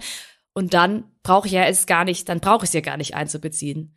Und die Realität, äh, in der Realität deckt Wissenschaft halt dieses gesamte Spektrum ab. Und nur wenn man ähm, nicht nur die Ergebnisse, sondern auch die Methoden mit einbezieht, kann man eben differenzieren, wann ist es sinnvoll oder notwendig, mich auf Wissenschaft, äh, meine Entscheidungen auch äh, wissenschaftlich zu begründen, mit zu begründen und wann kann man auch sagen, nee, das ist, hier hilft uns die Wissenschaft rein methodisch gar nicht mehr weiter. Und da kommst ja eigentlich du ins Spiel. Also du bist ja sozusagen eigentlich der, der, äh, das Bindeglied. Du sagst ja, also du bist, äh, bezeichnest dich selbst als äh, Wissenschaftskommunikatorin äh, oder Wissenschaftsjournalistin und Vermittlerin. Vielleicht einmal ganz kurz den, den Rückblick. Warum hast du dich entschieden, dass du das bist? Also, dass du sagst, ich stelle mich in die, in die Mitte und bleibe nicht äh, bei meinem Vater am Herd, sondern äh, äh, ich schreibe das Kochbuch. Ja. Also ich habe, als ich noch aktiv selbst in der Forschung war während meiner Doktorarbeit, habe ich ähm, in ich habe ich mit äh, in so einem biomedizinischen Anwendungsbereich geforscht. Also ich habe ähm, Materialien entwickelt, also neue Moleküle gekocht, mhm. die ähm, als sogenannte Drug Delivery Systeme eingesetzt werden sollen. Das ist inzwischen ein bisschen einfacher für mich zu erklären, äh, seit es die mRNA-Impfstoffe gibt. Mhm. Manche haben es äh, vielleicht mitbekommen, dass dieser Impfstoff nicht nur aus mRNA besteht. Das ist zwar der eigentliche Impfstoff, um den es geht. Die mRNA muss aber verpackt werden, damit das funktioniert. Also mhm. in dem Fall äh, ist es relativ simpel in so einer sogenannten Lipidhülle. Aber diese Hülle muss halt auch jemand herstellen, also zum Beispiel eine Chemikerin. Und ich habe halt eben versucht, solche Verpackungs- und Transportsysteme äh, zu entwickeln, unter anderem ähm, ja, um Wirkstoffe, seien es jetzt Impfstoffe oder irgendwie einen anderen, vielleicht mal einen Krebswirkstoff oder sowas, zu ja zu verabreichen. Natürlich sehr in der Grundlagenforschung, also weit weg äh, von irgendeiner Anwendung, aber ähm, solche Anwendungsgebiete, das hat mich halt wirklich sehr motiviert, an sowas zu arbeiten. Und wenn wir bei jetzt bei der mRNA-Impfung bleiben, äh, leuchtet ja schnell ein, dass das ja nicht viel bringt, daran zu arbeiten, dass dann äh, viele kluge Menschen nicht nur Hirnschmalz, sondern sehr viel Zeit und Arbeit und Abende und Wochenenden im Labor äh, dafür opfern, für so einen Fortschritt, wenn das am Ende gar nicht angenommen wird, diese mhm. Innovation. Also, ähm, und da wurde mir eben klar, dass die Kommunikation, die Vermittlung, die Aufklärung ja genauso wichtig ist wie die Innovation selbst oder die Wissenschaft selbst. Ähm, und ja, und gleichzeitig ist, äh, hatte ich auch das Gefühl, dass ich als jemand ja, die wie gesagt sehr gerne lernt und eigentlich gern auch immer wieder was Neues lernt. Ich bin eigentlich von von Haus aus gar nicht so die geborene Spezialistin, was man ja werden muss, wenn man jetzt so Doktorarbeit in der Chemie macht. Das heißt, mhm. ich wusste sehr viel über, irgendwann sehr viel über Polyurethan-Hydrogele, mhm, immer mehr und dachte so, ja, ich will aber auch, mhm. eigentlich würde ich gern auch über andere Sachen Bescheid wissen. Und ähm, zusammen mit dieser persönlichen Präferenz war das dann für mich doch irgendwann sehr klar, dass ich diesen Wechsel machen will. Und wo siehst du dich jetzt? Also siehst du dich jetzt auch, äh, ich kenne dich aus den Medien, ich kenne dich durch YouTube äh, und so weiter. Siehst du dich auf der Seite der Wissenschaft oder auf der Seite der Medien oder auch da siehst du dich da dazwischen? Also praktisch bin ich natürlich dazwischen und mhm. es ist ja genau dieser Brückenschlag, der, also der der Kern meiner Arbeit ist. Äh, Im Herzen sehe ich mich natürlich auf der Seite der Wissenschaft und mhm. ich verstehe mich irgendwie auch gerne als ähm, ja immer noch als Kollegin, ja, der der Leute, die jetzt immer noch im Labor stehen. Und äh, ich habe mein persönlicher Anspruch an meine Arbeit ist es auch, dass die Fachleute, für die ich ja quasi auch übersetze für eine ähm, breitere Masse, dass die dann sich auch gut vertreten fühlen. Also, mhm. Also dass die sich eben auch ähm, ja da richtig wiedergegeben und interpretiert fühlen. Also und ähm, ja, und das ist genau, also mein Anspruch, am meisten freue ich mich halt, wenn, äh, wenn es dann nicht nur, wenn ich dann Nachrichten kriege von jungen Menschen, die dann sagen, ach, äh, ich habe irgendwie dacht, dachte immer, Naturwissenschaften sind nicht mein Ding und jetzt überlege ich Chemie zu studieren. Mhm. Das ist natürlich sehr schön, aber fast auch mehr freut es mich, wenn es dann wirklich von Chemikerinnen oder Chemikern kommt und dann sagt, ja, das hast du cool, das äh, hast du hast du gut erklärt. sind wir äh, approved. Welche Rolle nimmst du denn in der in der Community der Wissenschaft ein? Also ich nehme an, es gibt genauso eine Bubble, so eine Wissenschaftsbubble, wie es die Medienbubble gibt, die ich jetzt besser kenne. Ja. Ähm, was bist du für die? Also ich meine, das ist immer schwer zu sagen, äh, aber wenn du das so, wenn du so mal Mäuschen spielst ähm, für dich selbst, was was was hörst du da? Also was was ich äh, auf jeden Fall nicht mehr bin, ist Wissenschaftlerin. Also wenn ich so beschrieben werde, ähm, ich ist jetzt nicht so, dass ich es unbedingt den Drang habe, das zu korrigieren, weil ich äh, ich glaube, zu Wissenschaftlerin sein gehört ja vielleicht auch so ein bisschen mehr als nur das, das aktive Forschen. Mhm. Äh, ich, weil ich bin Chemikerin, ja, das werde ich jetzt immer bleiben, sag, behaupte ich jetzt einfach mal.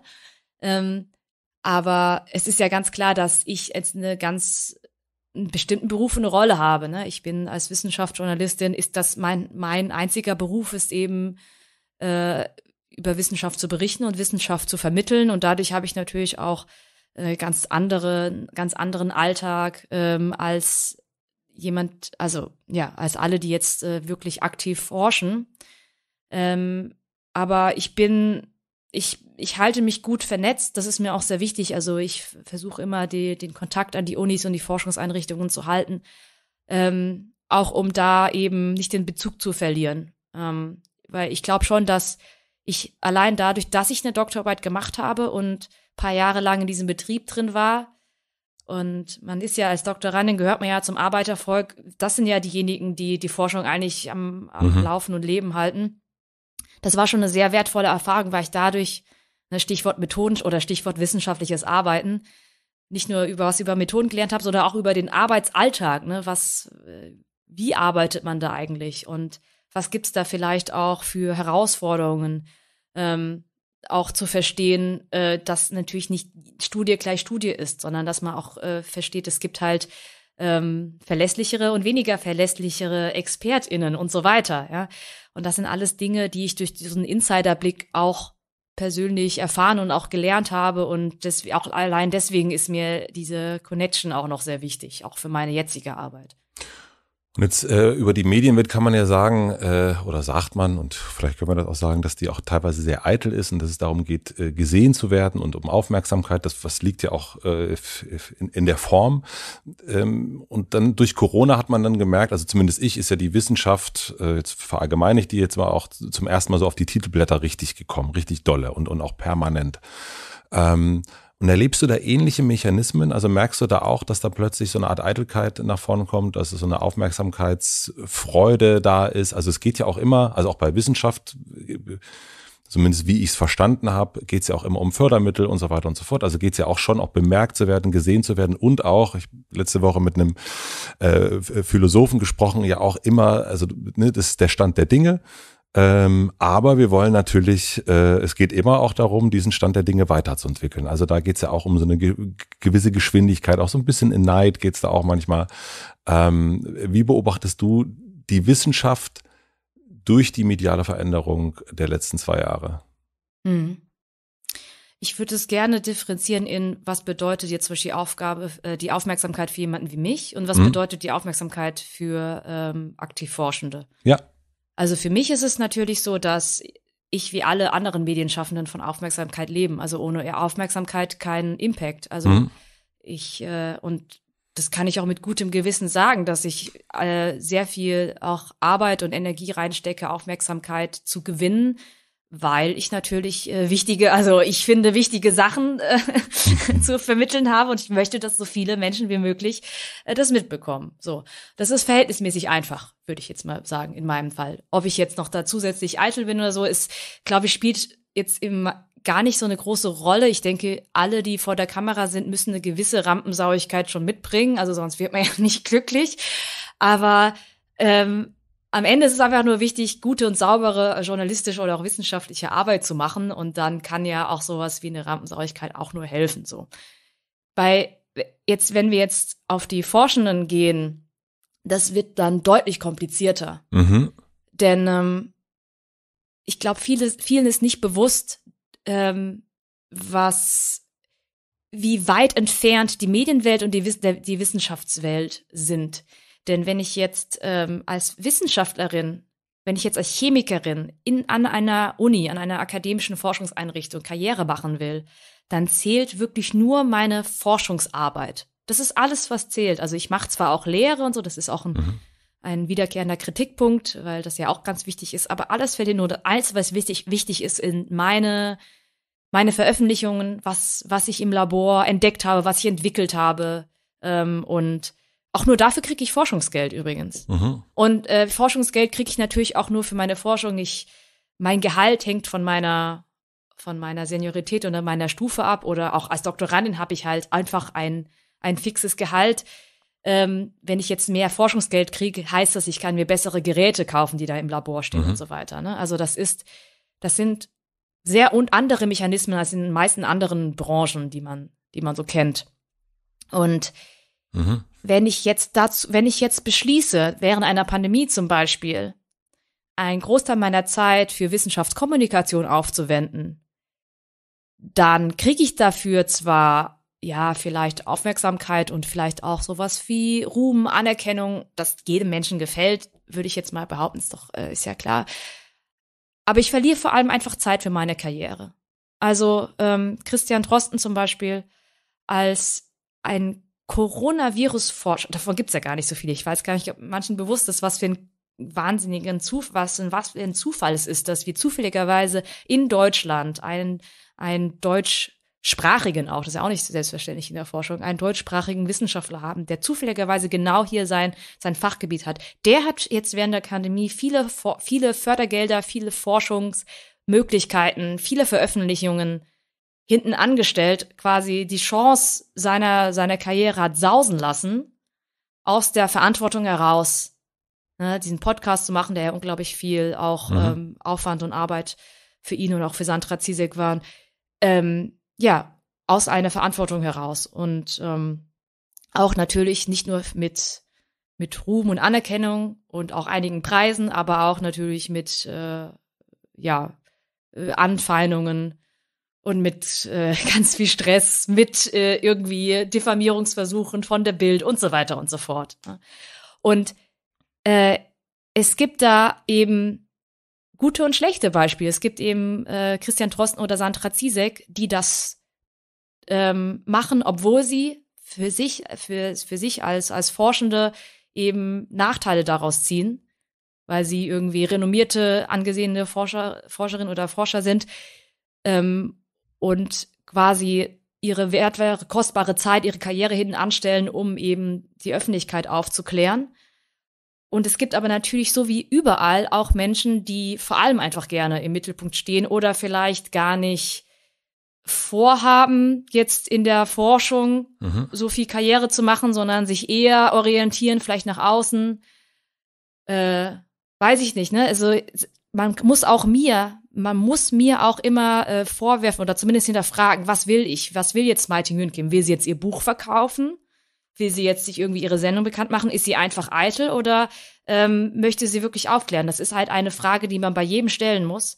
Und es gibt eben leider gerade in so einer großen medialen Aufmerksamkeit natürlich zwangsläufig Leute, die dann mit ähm, ja den falschen Motiven, sage ich mal, sich auch in die Aufmerksamkeit, äh, in die Öffentlichkeit begeben und die Aufmerksamkeit dann unbedingt auf jeden Fall auch bekommen, ja, weil es gibt halt leider gar nicht so viele ähm, Wissenschaftlerinnen und Wissenschaftler, die sich überhaupt dazu bereit erklären, sich diesem Medienzirkus, ich sag mal, hinzugeben. Und äh, der Großteil, auch der der Großteil des Konsenses, sage ich mal, bleibt halt im Hintergrund und äh, ist auf, gar nicht auf dem Schirm der Öffentlichkeit. Du hast erst schon ganz am Anfang des Gesprächs gesagt, das ist, und das ist ja auch nachvollziehbar, dass äh, durch Corona deine Popularität extrem gestiegen ist. Hat sich in deiner Vorgehensweise durch die neue, größere Aufmerksamkeit von außen was verändert? Nicht grundsätzlich. Also ich war vorher auch schon immer sehr, ähm, ja, sehr sorgfältig. Äh, ich äh, war ich vielleicht auch schon immer, also auch vielleicht schon als schon als Schülerin und ähm, es war mir schon immer extrem wichtig. Also das Schlimmste, was mir passieren kann, dass ich groben Unfug erzähle. Also ich habe sowieso schon immer ähm, ja alles immer mehrfach gecheckt, aber die Verantwortung, der Druck, den man dann verspürt mit einer wachsenden Reichweite, der der steigt natürlich auch. Ne? Also mhm. natürlich äh, machen wir uns hier äh, im zum Beispiel kleinen MyLab-Team, da sind wir ja nur zu viert, äh, vor jedem Upload jetzt äh, sehr viel mehr Gedanken, wenn wir wissen, wir erreichen über eine Million Menschen. Mhm. Äh, da, ja, das, da, da, da finde ich es aber richtig, auch mal kalte Füße zu kriegen. Das äh, ist, äh, wenn das nicht so wäre, dann müssten wir uns eigentlich Gedanken machen. Ich glaube, das wäre schön, wenn's, wenn jeder so mit Reichweite umgehen würde, dass man halt sehr gut, äh, sehr gut überlegt. Oder generell ist es bei mir, hat es bei mir dazu geführt, dass ich äh, auch viel weniger auf, auf Social Media poste, weil ich halt immer überlege, boah, ich habe so eine große Reihe, muss das, muss ich jetzt, äh, äh, was, was kann ich, was kann ich denn, was kann ich denn jetzt irgendwie posten? Ich, das ist auch fast schon ein bisschen schade, weil das für mich so die Leichtigkeit verloren hat, weil natürlich, ich meine, Social Media, das muss ja jetzt nicht immer eine Dissertation sein, dafür habe ich ja andere, ich habe ja andere Outlets, ich kann ja in meinen Sendungen ja hier die Inhalte vermitteln.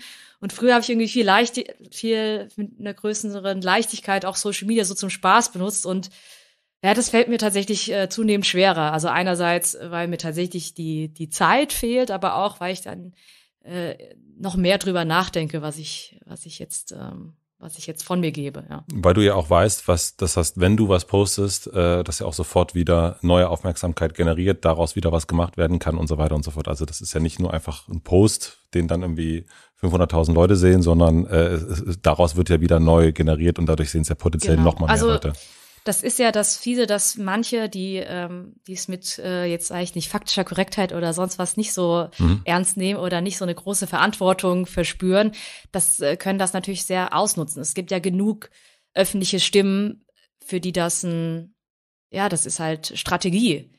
Ja, auch immer wieder, auch durch Empörung Aufmerksamkeit zu generieren und so immer wieder im Gespräch zu bleiben und sei es, weil Leute, weil man beschimpft wird, aber so bleibt man natürlich auch, auch relevant.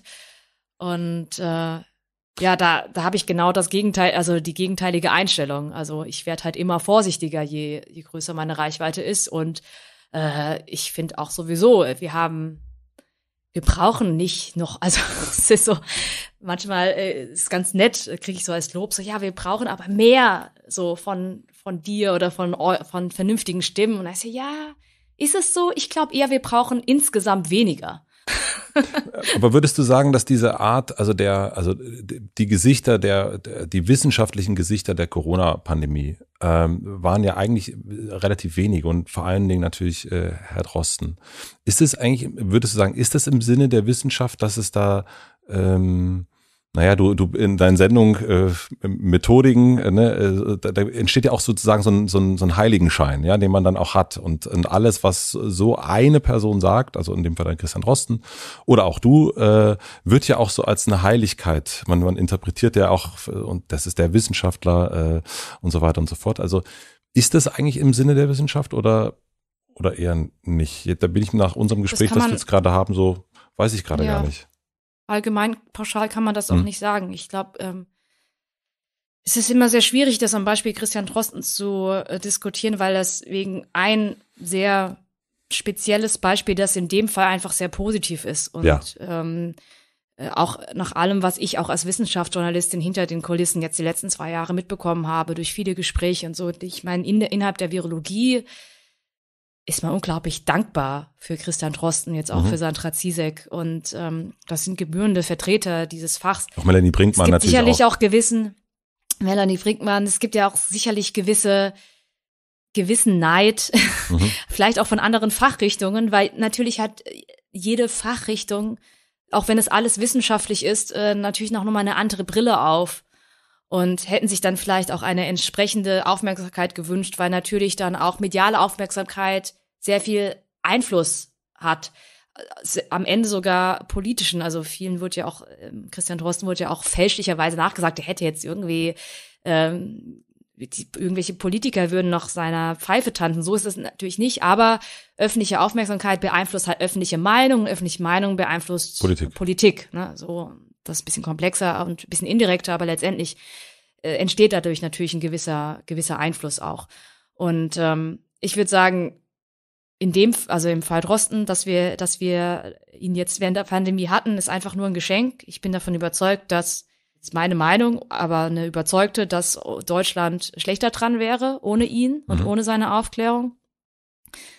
Ähm, aber das sage ich auch deswegen, weil also man kann sich die vielen Podcast-Folgen anhören oder die Transkripte durchlesen, weil er auch unglaublich viel über Methoden spricht und auch mhm. immer erklärt, wie er zu ja. seinen Erkenntnissen kommt. Und selbst wenn das, wenn er sich mal geirrt hat, was er ja auch immer ähm, erfrischenderweise für, also in der Wissenschaft ist ja eigentlich normal, aber auch für, für so ein Medienformat auch immer wieder eingeräumt hat, aber auch immer gut begründet hat. Ne? Mhm. Ne? Also warum er denn damals jetzt das so gesehen hat und warum er es jetzt anders sieht dieses woher weiß ich etwas? Was wurde hier eigentlich gemacht und wie komme ich zu meinen Schlüssen? Das hatte wirklich unglaublich gut und ähm, ausführlich und gewissenhaft gemacht und deswegen war ist er in meinen Augen ein so guter Wissenschaftskommunikator.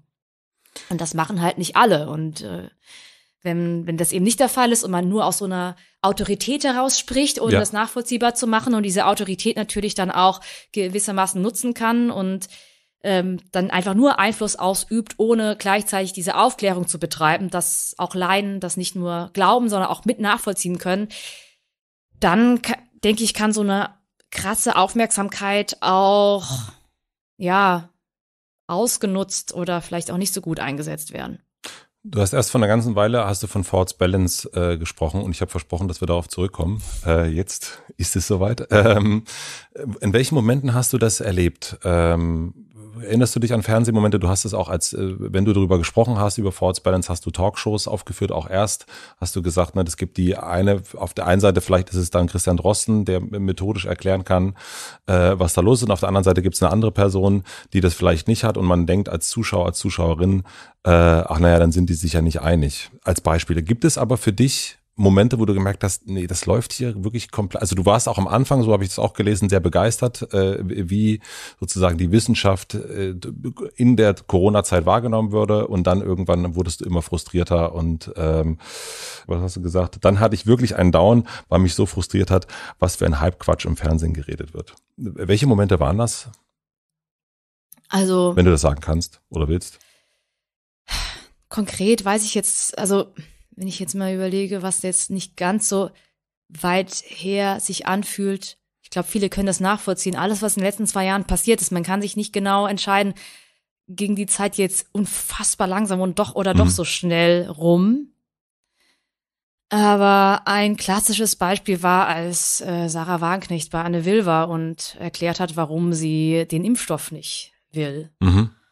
Und dann wird dann halt, äh, in dem Fall war es Karl Lauterbach eingeladen, dessen Aufgabe das ist, diesen Quatsch zu debanken. Und das ist für mich, also in, in meiner, mein, das ist meine Meinung jetzt als Wissenschaftsjournalistin, mhm. da finde ich, da wurde die, die redaktionelle Verantwortung nicht wahrgenommen. Ähm, und ich, aber ich kann mich auch in die andere, in die Redaktion reinversetzen, weil ich glaube, deren Reasoning war, diese Talking Points, die Sarah Wagenknecht hat oder diese Skepsis gegenüber des Impfstoffs, dieses mRNA-Impfstoffs, die, die ist ja verbreitet. Wir sehen ja die Impflücke und das müssen wir irgendwie thematisieren. Wir müssen da auch aufklären. Und am einfachsten ist es, wenn wir, wenn wir das in die Diskussion mit einbeziehen und in dem Fall Sarah Wagenknecht einladen und wir lassen sie ja nicht un, wir lassen sie ja jetzt nicht unwidersprochen reden, sondern wir haben ja noch Karl Lauterbach. Ja, ja. Und das ist in meinen Augen ist das, das kann man mit, mit vielen Dingen mit gesellschaftlichen, politischen, ideologischen Fragen vielleicht noch machen. Man kann es aber nicht machen, wenn es wirklich darum geht, wenn, wenn auf der einen Seite der Fakt steht, dass es noch nie einen Impfstoff gab, dessen Nebenwirkungen so gut untersucht und beobachtet werden wie jetzt derzeit die Corona-Impfstoffe. Mhm. Warum? Das hat einen ganz einfachen statistischen Grund. Noch nie wurden so viele Menschen weltweit in einer so kurzen Zeit geimpft. Das heißt, wenn ich sehr seltene Nebenwirkungen habe, wir erinnern uns an AstraZeneca, das hätte ich bei anderen Impfstoffen, die schon seit Jahrzehnten vielleicht zugelassen sind und wo wir uns keine Gedanken machen, hätten wir vielleicht gar nicht statistisch überhaupt nicht erst gar nicht gesehen. Die werden gar mhm. nicht äh, quasi aus diesem Rauschen herausgestochen. Das sowas sieht man erst in einer sehr großen Masse. Das heißt, noch nie, also gab es quasi so sichere Impfstoffe wie jetzt. Und wenn dann jemand wie Sarah Wagenknecht sagt, nee, das ist mir nicht sicher genug, ich warte noch, dann ist das faktisch falsch. Das ist dann eine irrationale Angst, die sie hat, aber es ist eine reine Bauchmeinung, die gegen Fakten steht. Und da finde ich es falsch, eine Bauchmeinung und einen Fakt ähm, inszenieren, zu inszenieren in einer Talkrunde, in einer Diskussionsrunde äh, und das und das zur Debatte zu stellen, sondern ich würde diese diese Ängste aufgreifen, ich würde sie thematisieren, ich würde sie aber erklären und nicht debattieren. Und das ist eben für mich der wesentliche Unterschied. Und erst dadurch entsteht für mich False Balance, wenn man eben auch ja falsche also wissenschaftlich falsche Positionen mit der wissenschaftlich äh, faktisch richtigen Position gegenüberstellt und diskutieren lässt, weil da entsteht nicht nur der Eindruck, eins zu eins. Also es steht nicht nur die falsche Balance dadurch, dass äh, jetzt in dem Fall Karl Lauterbach für den wissenschaftlichen Konsens spricht und Sarah Wagenknecht für eine, für eine Minderheitsmeinung, sondern es kommt ja noch hinzu, dass es eine Meinung ist. Und dass dann auch eine zusätzliche falsche Balance entsteht zwischen Fakten und Meinungen. Dass die eben gleichwertig diskutiert werden können. Und das habe ich sehr oft gesehen und ich glaube, der Knackpunkt ist am Ende, dass das für mich aus einer naturwissenschaftlichen Sicht ziemlich klar zu beantworten ist, dass es falsch ist zu sagen, ähm, der Impfstoff ist mir nicht sicher genug. Aber ne, viele, ich habe viele ähm, Kolleginnen und Kollegen im Journalismus, mit denen ich jetzt auch in den letzten zwei Jahren gesprochen habe, die sehen das grundsätzlich nicht so, weil es da sehr wenige Naturwissenschaftler gibt in, mhm. unseren, in den Redaktionen unseres Landes. Und ich habe da Kulturclashes erlebt, wirklich. Also hier die Chemikerin, die sagt, wisst ihr was, es gibt halt Sachen, die stehen nicht zur Debatte. Und auf der anderen Seite vielleicht ein Philosoph, der dann sagt, äh, nee, da kriege ich direkt, äh, da kriege ich äh, direkt angeschweißt, wenn du sowas Totalitäres sagst. Denn jeder Anspruch von Wahrheit ist irgendwie ein Machtinstrument, dem man widerstehen muss, grundsätzlich. Und ich glaube, da irgendwo dazwischen verläuft die fließende Grenze zwischen Naturwissenschaften und Geisteswissenschaften. Ne?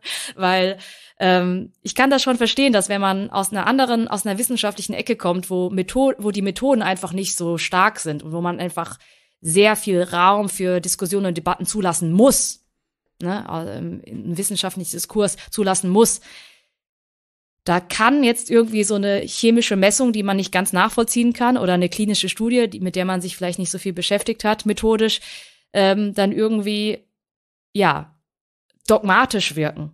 Aber es ist genau das Gegenteil. Also es ist, aber es ist einfach, ich finde, man sollte eher den Luxus annehmen, zu sagen, ja, wir haben hier ab und zu mal naturwissenschaftliche Erkenntnisse, da haben wir den Luxus zu sagen, das ist so, und dann äh, können wir uns das Leben doch auch wenigstens ein bisschen leichter machen. Ja, die aber ja auch die ganze Zeit im Verändern sind. Also das ist ja auch, also auch wenn wir jetzt bei Corona bleiben, äh, auch da haben die Erkenntnisse sich ja ständig erneuert. Ne? Und, und auch ständig gab es, also zumindest ich als einfach so äh, äh Bewohner dieses Landes äh, kann dann sagen, okay, da, da, wurden ja auch verschiedenste Dinge gesagt, die sich dann auch nochmal verändert haben. Ne? Also so das, äh, mhm. äh, was ja auch vollkommen äh, Ja, das ist sehr verwirrend. Das liegt einerseits auch daran, dass wenn man die Methoden eben nicht mit äh, kommuniziert, sondern und dann höre ich nur, ah, heute gilt A, jetzt gilt mhm. B, ah, jetzt gilt wieder A, ach nee, jetzt gilt C. Und dann denke ich so, das soll, was soll das denn? Also das ist ja total Chaos, ist dann mein Eindruck. Ja. Wenn ich aber jetzt zum Beispiel, wenn es aber ist, manchmal kann das gute Gründe haben, methodische, wo ich dann ganz logisch nachvollziehen kann. Ach so, A und B und C sind gar nicht so weit voneinander weg.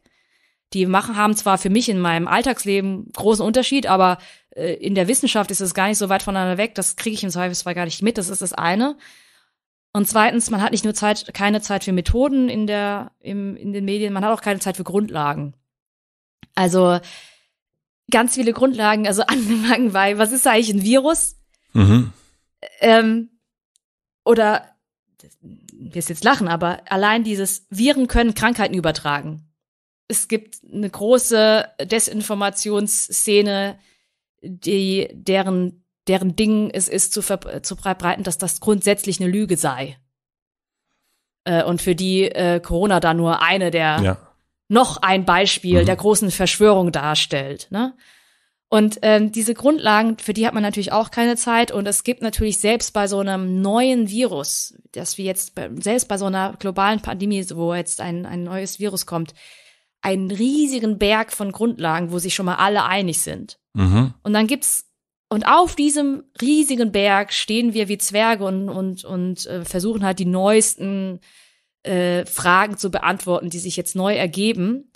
Und nur darauf äh, hält die, halten die Medien das Spotlight.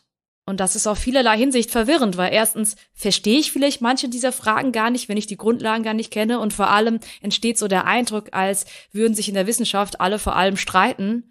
Dabei gibt es eben gewisse Grundlagen, die tatsächlich nicht in Frage stehen die aber natürlich in manchen Talkshows dann trotzdem in Frage gestellt werden. Ne? Also es ist dieses Verhältnis zwischen Wissenschaft und Medien ist extrem aber kompliziert und für für außenstehende Laien tatsächlich extrem verwirrend, ja. Ja, also ich meine, ich, ich habe, was ich verstanden habe und, und auch schon vorher so äh, mir natürlich nicht nicht unklar war, aber jetzt nochmal durch dich deutlicher geworden ist, ist Wissenschaft ist ein Stand der Dinge. Ne? Also so ähm, und das kann ja sein, dass heute, dass etwas, was, was man heute sagt ähm, und vielleicht auch als Fake bezeichnet, morgen plötzlich, weil es, weil es jemand im Labor äh, herausgefunden hat, äh, konnte doch ein Atom spalten, ist es keine Fake News mehr, sondern es ist, es ist die neue Wahrheit sozusagen mhm. für den Moment. Ähm, deswegen Darf ich dazu was ja, sagen, weil das, ähm, weil das, das stimmt erstmal. Und äh, ich höre in dem Zusammenhang auch sehr oft Einstein. Ich habe sehr oft über Einstein geredet in den letzten zwei Jahren, weil äh, der mir immer entgegengehalten wurde, wenn ich von Fakten oder vom mhm. Stand der Dinge ähm, mhm. oder wenn ich gesagt habe, manche Dinge stehen nicht zur Debatte. Mhm. Und Einstein war ja auch ein Revoluzer und das ist ja total crazy, dass der, der, dass der Raum gekrümmt ist und Raumzeit und dass Zeit relativ ist und was und Zeit vergeht da schneller und da langsamer. Das ist ja total crazy. Ähm, und die Sache ist, Einstein wir, ist heute nicht deswegen auf sämtlichen T-Shirts und Tassen abgedruckt und einer der größten Wissenschaftler unserer Zeit, weil der damals einfach so crazy war und die Welt komplett in Frage gestellt hat. Das allein in Frage stellen, das macht dich noch nicht zu Einstein, sondern Einstein ist deswegen einer der größten Wissenschaftler, weil er Theorien aufgestellt hat, die also da er da belegt werden konnte und vor allem nicht widerlegt werden konnte. Mhm. Und weil es mehrere Belege gab, wie jetzt auch zum Beispiel die, die Messung der Gravitationswellen, zum Beispiel, für die es ja da auch noch mal einen Nobelpreis gab, mhm. immer wieder wurde es belegt und seine Beschreibung der Welt hat einfach die, ähm, ja, hat sich einfach bewahrheitet. Und was jetzt heute in Diskussionen oft als Scheinargument aufgemacht wird, ist jede beliebige jeden beliebigen Bullshit, wie zum Beispiel, weiß ich nicht, zum Beispiel so ein äh, Sucharit Bhakti zu nehmen, so ein, eine, einer der großen, ein Professor mit Professortitel, der war ein ganz großer äh, Coronavirus-Leugner war. Mhm. Und den dann gleichzusetzen mit Einstein, weil er alles, was man bisher über das Coronavirus wusste, dann total in Frage stellt. Mhm. Und dann muss ich sagen, ja, lass doch bitte bei den Evidenzen bleiben. Ne? Weil es stimmt. Dank, also weil wir in der Naturwissenschaft Evidenz haben und plötzlich etwas belegen, beweisen können, äh, kann sowas dazu führen, dass, dass, dass alle irgendwie in die Knie gezwungen werden und sagen, ja, stimmt, krass. Äh, ich sehe es, also es ist jetzt einfach, äh, ne, dieser mhm. der Beleg ist da und der ist besser als das, was wir vorher hatten. Das, das beschreibt es genauer besser als das, was wir bisher dachten. Dann ähm, ändere ich jetzt meine Meinung. Aber nur irgendwas random in Frage zu stellen und einfach wissenschaftliche Erkenntnisse einfach so zu hinterfragen und sagen, ja, vielleicht stimmt's auch gar nicht. Vielleicht ist es morgen anders. Das allein bringt uns halt gar nicht weiter. Und das wird leider halt sehr oft gemacht. Äh, das, ähm, das ist natürlich eine, eine Art Wissenschaft pauschal mhm. zu leugnen auf eine eigentlich fast schon sehr fiese Art, weil es ist nicht nur zu sagen, ja, ich, Wissenschaft ist mir egal, ich höre nicht auf Wissenschaft, sondern mhm. es ist eine Wissenschaftsleugnung, die sich ausgibt als besonders differenzierte Wissenschaftlichkeit, die sagt, nee, also wenn du eine Ahnung von Wissenschaft hättest, dann wüsstest du ja, dass man nichts mit Sicherheit sagen kann. Und hier und da, ne? Und gleichzeitig aber durch diese Pauschalität, durch die falsche und die losge also das sich loslösen, das Ignorieren von Evidenz, dann am Ende im unterm Strich Wissenschaft dann auch leugnet. Und ähm, da das das ist eben etwas, was es alles so äh, nochmal komplexer und komplizierter macht. Das verstehe ich. Ich habe nur sozusagen, wo ich, wo ich hin wollte, weil, weil du das Beispiel Sarah Wagenknecht und, und Karl Lauterbach und Forts Balance genannt hast. Für mich persönlich und auch nur als, als ein, ein Zuschauer von, von Talkshows, äh, in dem Fall, also ich finde, dass der Ort der Talkshow oder das ist ja auch manchmal gibt es das in der Zeit, äh, die, zwei verschiedene Meinungen, die aufeinandertreffen und so weiter. Also ich finde das gut, dass äh, dass da auch eine Angst, die vielleicht äh, gar nicht berechtigt ist, dass die, dass die einen Raum kriegt äh, und, und äh, einen, einen Unglauben kriegt und vor allen Dingen dann auch, wenn es Vertreterinnen äh, von unterschiedlichen äh, Parteien sind. Um, da habe ich so, das ist dieses mein Inneres, bin kein Wissenschaftler, aber meine innere Unsicherheit zu Dingen, mein, mein Hinterfragen der Sachen. Also ich finde es gut, wenn es sozusagen da zwei VertreterInnen gibt und, äh, und mir dabei hilft, das Ganze besser einzuordnen. Deswegen finde ich dieses Sarah Wagenknecht und Karl Lauterbach eigentlich, äh, ich habe die Sendung nicht gesehen und, und, und vielleicht hole ich das nochmal nach, aber ich finde das erstmal von dem, was du da erzählst, habe ich so gedacht und das auch nur mein Blick darauf, erstmal gar nicht so schlecht, weil ich kenne diese Fragen ja auch, diese Unsicherheit. Und da sitzt dann halt eine Vertreterin, die diese Fragen stellt oder diese Unsicherheit unter Umständen. Und dann gibt es bestenfalls aber jemand, der sagt, ist nicht so, aus welchem Grund auch immer. Also ich fühle mich eher nicht gesehen, wenn sowas nicht da ist, wenn es diese Art von ähm, Gegenüberstellung, diese Unsicherheit nicht gibt. Wenn da jetzt einfach äh, nur Christian Drosten sitzen würden und sagen würde, das haben wir jetzt ja rausgefunden und so ist das. Ähm, das fände ich merkwürdig, wenn das so in den Medien wäre. Nee, das ist mir natürlich auch für meine Arbeit sehr bewusst und eine der wichtigsten Sachen. Also ein Großteil unserer Recherche dreht sich immer darum, die weit verbreitesten, auch vielleicht auch Missverständnisse mhm. erstmal herauszufinden. Mhm. Also ich, in meinem Team, äh, ja, gehen wir, also gehen wir auch teilweise in Facebook-Gruppen rein oder so bei Telegram, weil wir müssen diese Argumente verstehen. Und ganz vieles davon, ne, wenn, es ist äh, einfach auch Skepsis oder Sorge, Angst und das wollen wir ab, abfangen. Mhm. Das Problem bei so einer Talkshow ist für mich nicht, dass diese Ängste thematisiert, im Gegenteil, das ist ja wichtig. Ja. Äh, wie sonst soll man, wollte man, wenn überhaupt, eine, die, eine Impflücke durch Aufklärung schließen. Ähm, das Problem ist, dass am Ende die Antwort nicht klar ist. Am Ende steht halt, sagt Sarah Wagenknecht ihren Teil und Karl Lauterbach sagt seinen Teil und man weiß nicht, wem man glauben soll. Am Ende glaubt man irgendwie dem, der, also das ist äh, psychologisch auch immer ganz gut untersucht, man glaubt halt demjenigen, der halt eher dem eigenen Weltbild ja. entspricht. Und ich hätte gar nichts dagegen, also so viel jetzt nochmal zur Trennung zwischen Wissenschaft und Meinung. Ich mhm. hätte gar nichts dagegen, wenn äh, Sarah, also und, äh, wenn Sarah Wagenknecht kommt und sagt, sie lässt sich nicht impfen, weil will sie nicht. Mhm. Oder sie lässt sich nicht impfen, weil, ähm, keine Ahnung, sie, sie vertraut Wissenschaft allgemein nicht. Mhm. Weil das ist, das wäre die ehrliche Antwort. Und dann kann man sagen, ja, es gibt halt einfach Leute. Es gibt ja offensichtlich genug Leute, die sich nicht impfen lassen. Nicht alle davon, weil sie nicht, es gibt ja das ist ja auch noch ein komplexes Thema. Also man kann nicht immer sagen, das sind alles äh, Impfgegner. Aber ähm, wenn sie einfach sagen würde, ich möchte nicht, das ist ihre freie Entscheidung. Ja. Ähm, dann hätte ich überhaupt nichts dagegen. Aber sobald sie sagt, dieser Impfstoff ist noch nicht gut untersucht, dann ist es eine Falschaussage. Die finde ich, die finde ich extrem, das, das finde ich wirklich problematisch, auch für eine freie, aufgeklärte Gesellschaft. Weil Freiheit, auch die Freiheit, mich zu impfen lassen oder nicht impfen zu lassen, eine echte Freiheit gibt's nur in der Informiertheit. Aber die könnte man doch dann in dem Moment, wenn sie das sagt, dann kann ja irgendwie Karl Lauterbach in dem Moment doch sagen, naja, Moment mal, also äh, guck mal, das haben wir, das ist alles passiert. Also es ist doch eindeutig so, hier, hier sind die Fakten, es ist genügend untersucht worden. Also das gibt ja doch ja, dadurch aber dann was die höre ich dann? Mhm. Sarah Wagenknecht sagt, es wurde noch nicht untersucht und Karl Lauterbach sagt dann, den ich im Zweifelsfall dann vielleicht eh nicht mag, ne? Mhm. Wenn ich dann schon, äh, so, das sind ja alles Dinge, die zusammenkommen. Der sagt dann, es wurde untersucht und wie soll ich das jetzt in, in diesen kurzen Redezeit, die man, Ja, also wenn ich jetzt noch die Zeit hätte, ich habe ja in meinen, ich habe ja, ich habe ja in meinen YouTube-Videos, dann blende ich Sachen ein, ich erkläre die Methoden, ich mache Ja. das alles und dann denke ich schon, ich bild mir dann schon ein, das hat jetzt was gebracht, weil Ja. jetzt haben es Leute wirklich äh, vielleicht verstanden und vielleicht hat den einen oder anderen doch überzeugt. In der Talkshow hast du diesen Raum überhaupt nicht, sondern du kannst dann höchstens sagen, das geht nicht. Und was halt noch hinzukommt ist, ich kann sehr schnell irgendwas behaupten, wie zum Beispiel der Impf Impfstoff ist nicht gut genug untersucht. Ich muss das jetzt natürlich mit viel mehr Sätzen Na, Ich Mhm. muss ja erklären, warum. Dann muss ich mit Statistik ankommen. Ich muss dann am Zweifelsfall nochmal das Design so einer klinischen Studie erklären.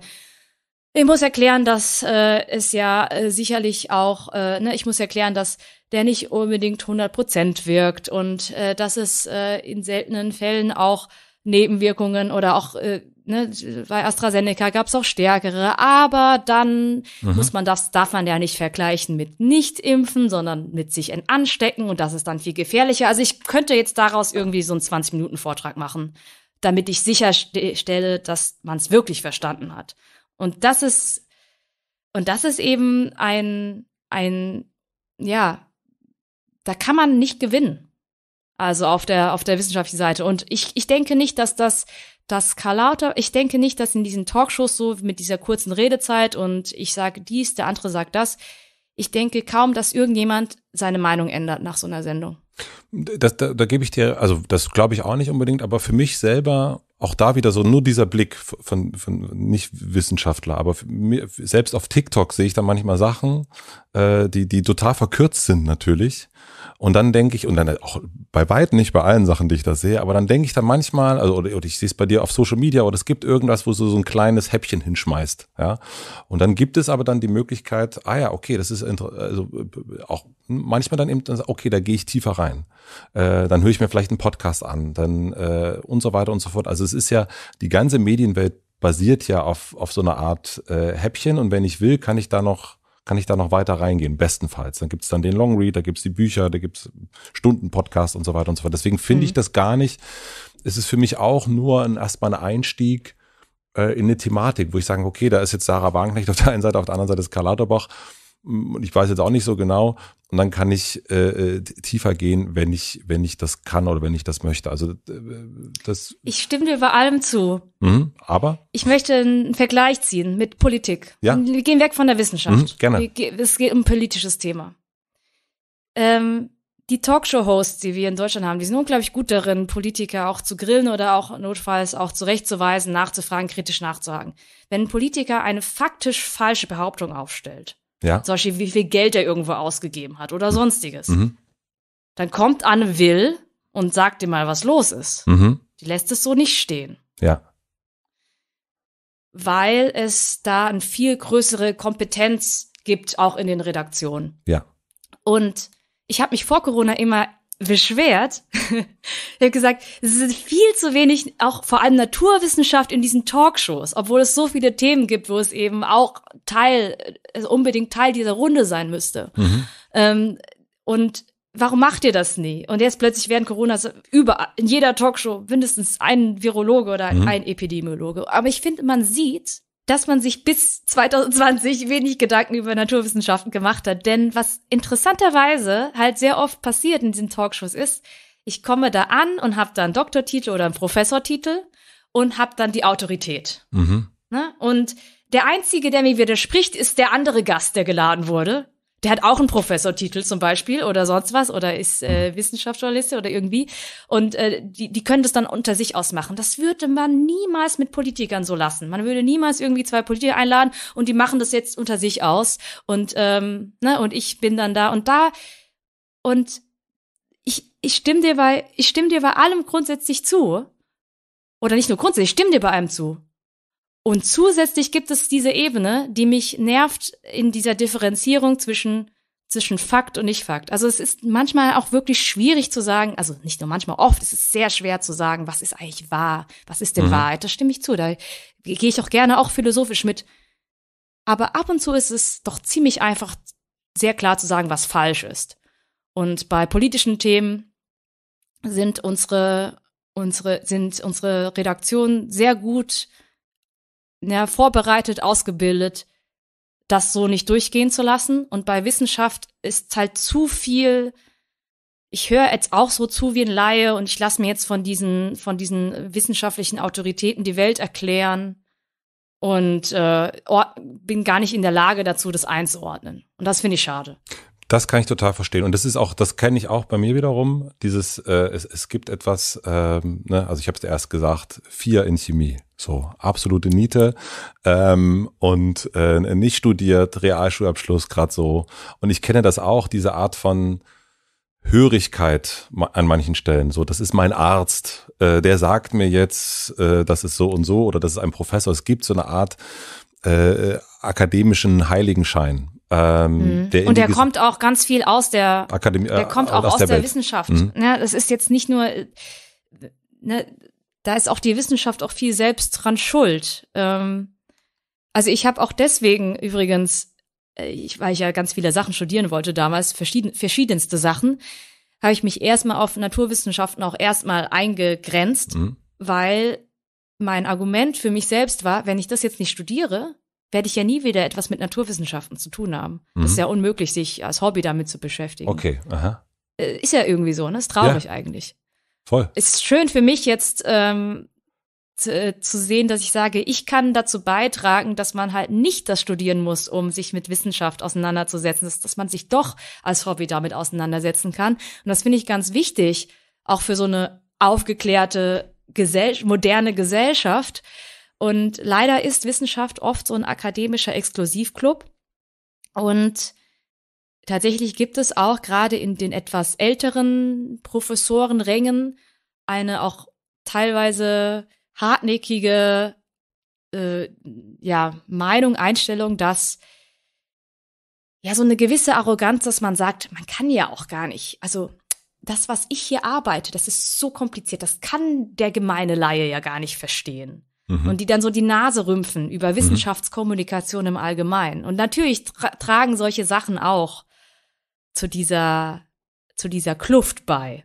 Ja dass man sich dann so fühlt, ja. Es gab äh, in, in der Zeit einen Artikel von Maximilian Probst und Ulrich Schnabel und die endeten äh, mit keine Klimawende ohne Kommunikationswende.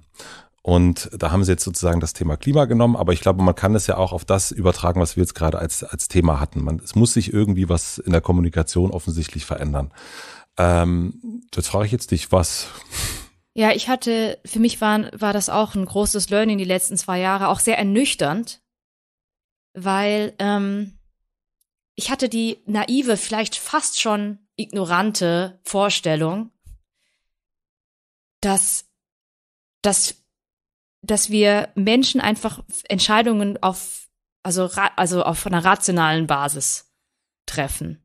Mhm. Weil ich mich selbst für sehr rational halte, aber wenn ich genau drüber nachdenke, ähm, bin ja auch ich ein Mensch und damit nicht, also Entscheidungsprozesse laufen einfach nicht rational ab. Es gibt sogar Forschung dazu.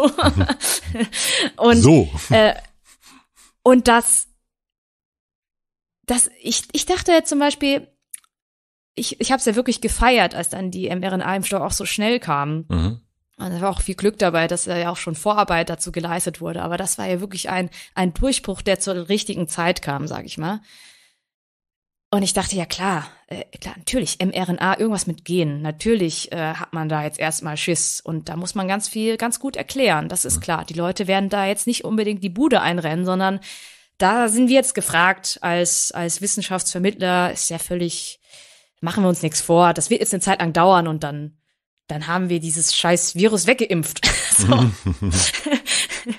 ähm, und nicht, also nicht falsch verstehen, ne? Also auch, es geht mir gar nicht darum, dass jetzt eine Impfung dann jetzt zu 100 Prozent, es geht ja nur darum, dass wir alles, was man machen kann, ne, dass man das, dass, dass man das macht. Selbst wenn jetzt die Impfung egal welche, es gibt ja viele verschiedene Impfungen, die nicht alle zu 100 Prozent eine Krankheit verhindern können, sondern vielleicht verhindert sie nur in Anführungsstrichen, dass du nicht im Krankenhaus landest oder sie verhindert nur in Anführungsstrichen, was weiß ich, äh, jede, jede zweite Krankheit. Dann ist ja immer noch besser, als das nicht äh, zu haben.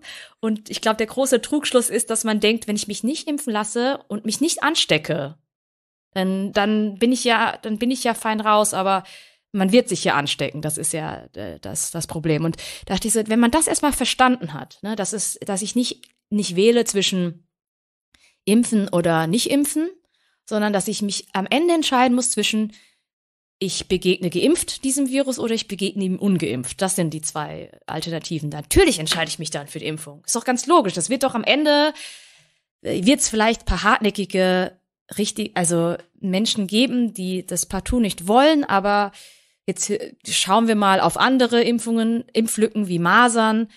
Da sind diese ganz knallharten Impfgegner auch nur so im niedrigen einstelligen Prozentbereich und alle anderen haben irgendwie andere Gründe, warum sie es nicht geimpft sind, haben es vergessen, wissen nicht, wo ihr Impfpass ist und so.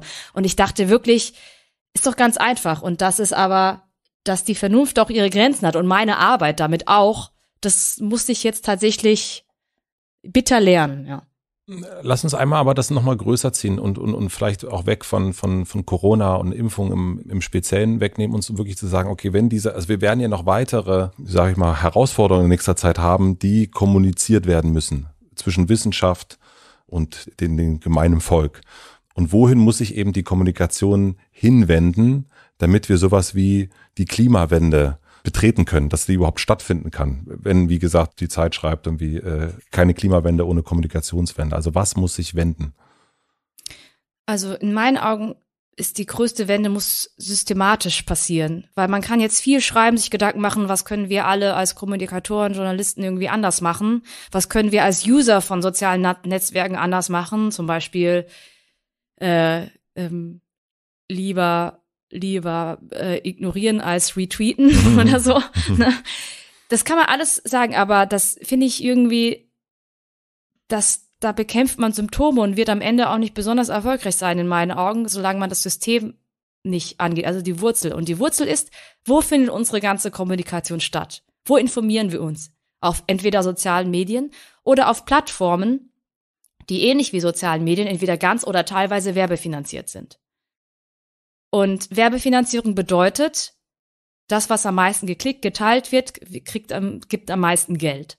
Und in so einem Anreizsystem kann sich vielleicht auch mal ein MyLab-Video äh, durchsetzen. Ne? Also ich will mich nicht beschweren mhm. über meine Reichweite. Und aber es wird immer einfacher sein für Empörungen, für Zuspitzungen, für Schwarz-Weiß-Malereien, für Desinformation, die einfach emotional aufwühlen, weil ne, Emotionen uns einfach mehr dazu veranlassen, auch zu interagieren und so weiter, als die äh, korrekte auf oder auf, äh, korrekte Information, differenzierte ähm, ja, Auslegungen und so weiter und so fort. Und das ist systemisch. Und ich finde es ein bisschen mühselig über das ist so, das ist ganz analog zu der äh, Klimadiskussion, mhm. wo wir sagen, was kann ich als eins, was, wo kann ich jetzt noch Plastik sparen? Mhm.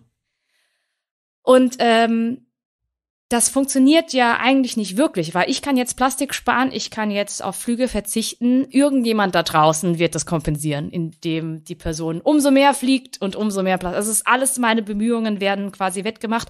Wirklich funktionieren tut das nur, wenn wir alle mhm. eigentlich sparen oder mhm. alle unser Verhalten ändern. Und das geht eigentlich nur durch systemische Anreize. Also zum Beispiel ein CO2-Preis. Wenn ich sage, wir müssen das System so gestalten, dass klimafreundliches Verhalten belohnt wird. Müssten wir halt genauso ein Mediensystem gestalten, wo wir sagen, wo gute Informationen, verlässliche Informationen, wo differenzierter Diskurs und konstruktiver Diskurs belohnt wird. Und das haben wir nicht. Und wir können zwar alle, jeder für sich sagen, ich ändere jetzt Folgendes an meinem Kommunikationsstil, aber am Ende ähm, finden wir auf Plattformen statt, die kapitalistisch funktionieren und damit immer, ja, ähm, ja, Zuspitzung, Populismus und äh, oft leider auch Desinformation ähm, fördern werden.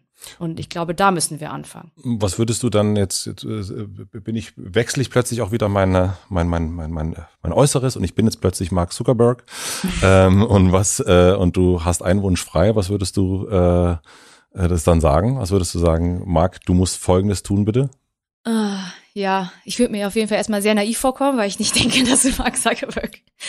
Also ich glaube, er, er zeigt ja durch seine Geschäftsentscheidungen sehr deutlich, was ihm wichtig ist und wo seine Prioritäten liegen. Nein, heute ist dein was, Tag, sage ich. Ich sage, äh, heute, heute, ist dein, Tag. heute ist dein Tag. Ja, ehrlich gesagt, ich würde sagen, äh, ich müsste, ich müsste leider sagen, dass ich jetzt selber nicht genau weiß, lieber Marc, was du machen kannst, denn ähm, du hast hier eine Plattform erschaffen, die natürlich auch auf künstlicher Intelligenz beruht mhm. und ähm, insofern auch ein Selbstläufer ist. Also man müsste jetzt irgendwie die Algorithmen ganz neu äh, programmieren. Natürlich wüsste ich jetzt auch nicht, wie du deine Plattform dann sinnvoll finanzieren kannst. Ne? Also es ist so, ich habe jetzt nicht, ich sehe die Probleme sehr klar vor mir. Und was mir ein bisschen Sorge macht, dass ich im Gegensatz zur Klimakrise, da könnte ich dir jetzt auch wieder äh, 20 Minuten Vortrag aus dem Stegreif halten, was wir da alles machen müssen und können. Äh, da habe ich nicht so viele konkrete Vorschläge, weil ich das unglaublich schwierig finde, weil du bist da ganz schnell an die, an, du bist dann ganz schnell an dem Punkt, wo zum Beispiel Mark Zuckerberg dann darüber entscheiden müsste oder irgendeine Redaktion oder irgendein Algorithmus entscheiden müsste, was ist jetzt eigentlich eine verlässliche Information und was nicht. Mhm. Ist ja auch total absurd. Ja. Also deswegen diese Forderung zum Beispiel an, an die sozialen Netzwerke, doch mehr gegen Desinformation zu machen, das finde ich auch so ein bisschen kurz gedacht. Weißt du, wie denn eigentlich? Wie, genau. Wem wollen wir das denn anvertrauen? Ne? Wer ist die ähm, Person? Wer ist, wer ist, wer, ja, wer ist der also Christian Drosten? Ich, genau, nee, ich, ich denke da manchmal an die, wie funktioniert eigentlich Wissenschaft innerhalb der Forschung? Weil wie funktioniert das da eigentlich, dass sich nicht irgendwie die schlechtesten Ergebnisse durchsetzen? Da ist eben so, dass, dass halt am Ende einfach gute Arbeit wird wird belohnt, weil, naja, weil, weil meine Karriere eben darauf beruht, irgendwie ähm, ja Erkenntnisse zu generieren, die auf die dann viele andere aufbauen, ne, die dann irgendwie was mhm. in Bewegung sitzt und wenn da jetzt irgendwas Falsches dran wäre, dann wird es halt nicht, dass das nicht schon mal passiert ist, aber es wird dann früher oder später dann irgendwann auffliegen, ja, im Normalfall. Das heißt, das System ist in sich so gestrickt, dass halt gute Arbeit belohnt wird und diese intrinsische Belohnung und diese Anreise, die sehe ich entsprechend nicht in den Medien. Ähm, nicht nur in den sozialen Medien, sondern auch in den anderen Medien? Also ist das ein Ja, auch. Also es ist vielleicht ein bisschen abgeschwächt, weil andere Medien doch doch ein bisschen mehr redaktionell gestalten können, ihre Webseiten und so weiter. Aber es ist natürlich schon so, dass sie auch jeder, der halt auch nur zum Teil werbefinanziert ist, ähm, natürlich den Anreiz hat, je mehr Klicks, desto mehr Geld. Das ist ein Anreiz, der eben im, in Konflikt stehen kann mhm. mit, mit guter journalistischer Arbeit und, und dann, ne, das Schöne ist ja, dass dann trotzdem ganz viele Menschen, also ganz viele äh, ganz gewissenhaft gute journalistische Arbeit machen. Ja. Und die dann, und dann auch mit Preisen ausgezeichnet werden und so. Aber dann denke ich immer so, das, das kann doch nicht sein, dass dann ähm, ne, irgendwie es in meiner Verantwortung liegt, gegen jetzt die finanziellen Anreize, also denen zu widerstehen, nur um meine Überzeugung nachzugehen. Ich habe ja auch gleich reden, ich bin ja öffentlich-rechtlich finanziert. Ja. Ne? Also das heißt, ich habe ja ähm, dieses Problem insofern nicht. Aber ja, es ist äh, es ist kompliziert. Es ist eine auch eine meiner großen Sorgen, wenn ich jetzt an die Zukunft äh, unserer Kinder denke. Es ist nicht nur Klimakrise und Artensterben, es ist tatsächlich auch ähm, was machen was macht das Internet erstens mit, mit der Wahrheit, der Wirklichkeit. Ich mag das Wort Wirklichkeit lieber als Wahrheit. Äh, was, was, was passiert, wenn wir irgendwann wirklich nicht mehr sagen können, was eine echte Information und was nicht? Und was macht es auch mit uns zwischenmenschlich? Also ähm, wie sehr kann unsere Empathiefähigkeit noch strapaziert werden? Also wie lange wollen wir noch normalisieren? Wollen wir irgendwie Hass im Internet normalisieren, weil es ja nur das Internet sei und mach doch dein Handy äh, aus oder klapp doch den Laptop zu. Also das macht mir schon schon Sorgen und die Wurzel des des Problems liegt eben in diesen ja meiner Meinung nach in diesem kapitalistischen Anreizsystem. In welchen Bereichen in deinem Leben spielt Wissenschaft keine Rolle? äh, in allem emotionalen, also in der Liebe zu den Menschen, also zu meiner Familie oder Freunden. Das ist natürlich, also nicht, dass ich jetzt sagen würde, da bin ich, kann ich jetzt irgendwie jede Logik ausschalten oder so. Mhm. Aber ähm, ja, ich, ähm, wie gesagt, dadurch, dass ich als Wissenschaftlerin ja die Grenzen der Wissenschaft teilweise ähm, besser kenne oder mir mhm. deren besser bewusst bin als manche Laien, äh, gebe ich ja auch nicht so viel auf Wissenschaft in vielen Bereichen. Ne? Also zum Beispiel wurde ich oft gefragt, ob ich denn nicht schon alle, weiß ich nicht, Erziehungsstudien und so durchgelesen habe, um zu gucken, ähm, mhm. wie ich jetzt mein Kind am besten erziehe. Und äh, natürlich habe ich erstmal erst mal reingelesen, aber natürlich auch sehr schnell festgestellt, ja, methodisch ist das nix, ne? also es ist super spannend, kann man sich akademisch mal mit befassen, aber hat eigentlich gar keine Relevanz für meinen praktischen Alltag, weil am Ende kann ich halt, um jetzt zu, um jetzt zu nachzuvollziehen, ob jetzt irgendeine Erziehungsmethode wirklich besser ist als eine andere, müsste ich eine kontrollierte Studie machen. Da müsste ich irgendwie zwei möglichst große Gruppen von Kindern nehmen und die irgendwie über eine Langzeitstudie beobachten. Das funktioniert, das macht man natürlich nicht. Das geht ja gar nicht. Und ähm, deswegen muss man sich auch nicht verrückt machen und dann am besten die Kinder einfach so erziehen, wie man denkt. Also das machst du nach dem Bauch? Oder ihr? Ja, Bauch, Bauch und gesunder Menschenverstand, würde mhm. ich mal sagen, ja. Was sagst du als Wissenschaftlerin über Intu, ja, du hast gesagt, du bist dir nicht ganz sicher, ob du Wissenschaftlerin bist, aber du, ja doch, äh, für mich jetzt gerade. Äh, was sagst du über Intuition? Intuition ist für mich äh, Erfahrung. Ich glaube nicht an irgend sowas, irgendwie ein, ein Gefühl, ein Bauchgefühl, das aus dem Nichts kommt und dann irgendwie auf übernatürlicher Weise etwas vorausahnt. Also in Intuition, das, was man Intuition nennt, ist halt für mich vor allem Erfahrung und auch viele, wir nehmen ja ganz viele Reize, also oder ganz viel unserer Umwelt nehmen wir ja gar nicht bewusst wahr. Ja. Aber es äh, im Gehirn kommen ganz viele Informationen an, die ich jetzt mit meinem rationalen, langsamen Denken jetzt so nicht verarbeite, aber die trotzdem verarbeitet werden, ohne dass ich es mitbekomme. Und durch solche Informationen äh, kann ich natürlich auch sowas wie ein Gefühl entwickeln, was gleich passiert. Ja. Ähm, und das ist für, für mich Intuition, ja. Du hast mal gesagt, ich glaube nicht an Schicksal oder Glück, aber ich bin ein ziemlicher Glückspilz. ähm, wie bist du dann dahin gekommen, wo du jetzt bist, wenn das nicht Glück war?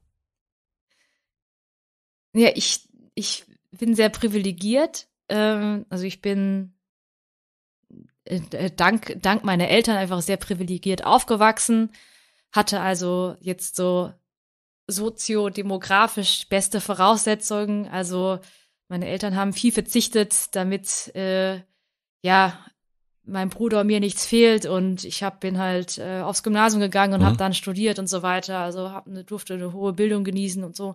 Und dann gibt's einfach natürlich zusätzlich Dinge, die rein zufällig passieren in so einem Leben.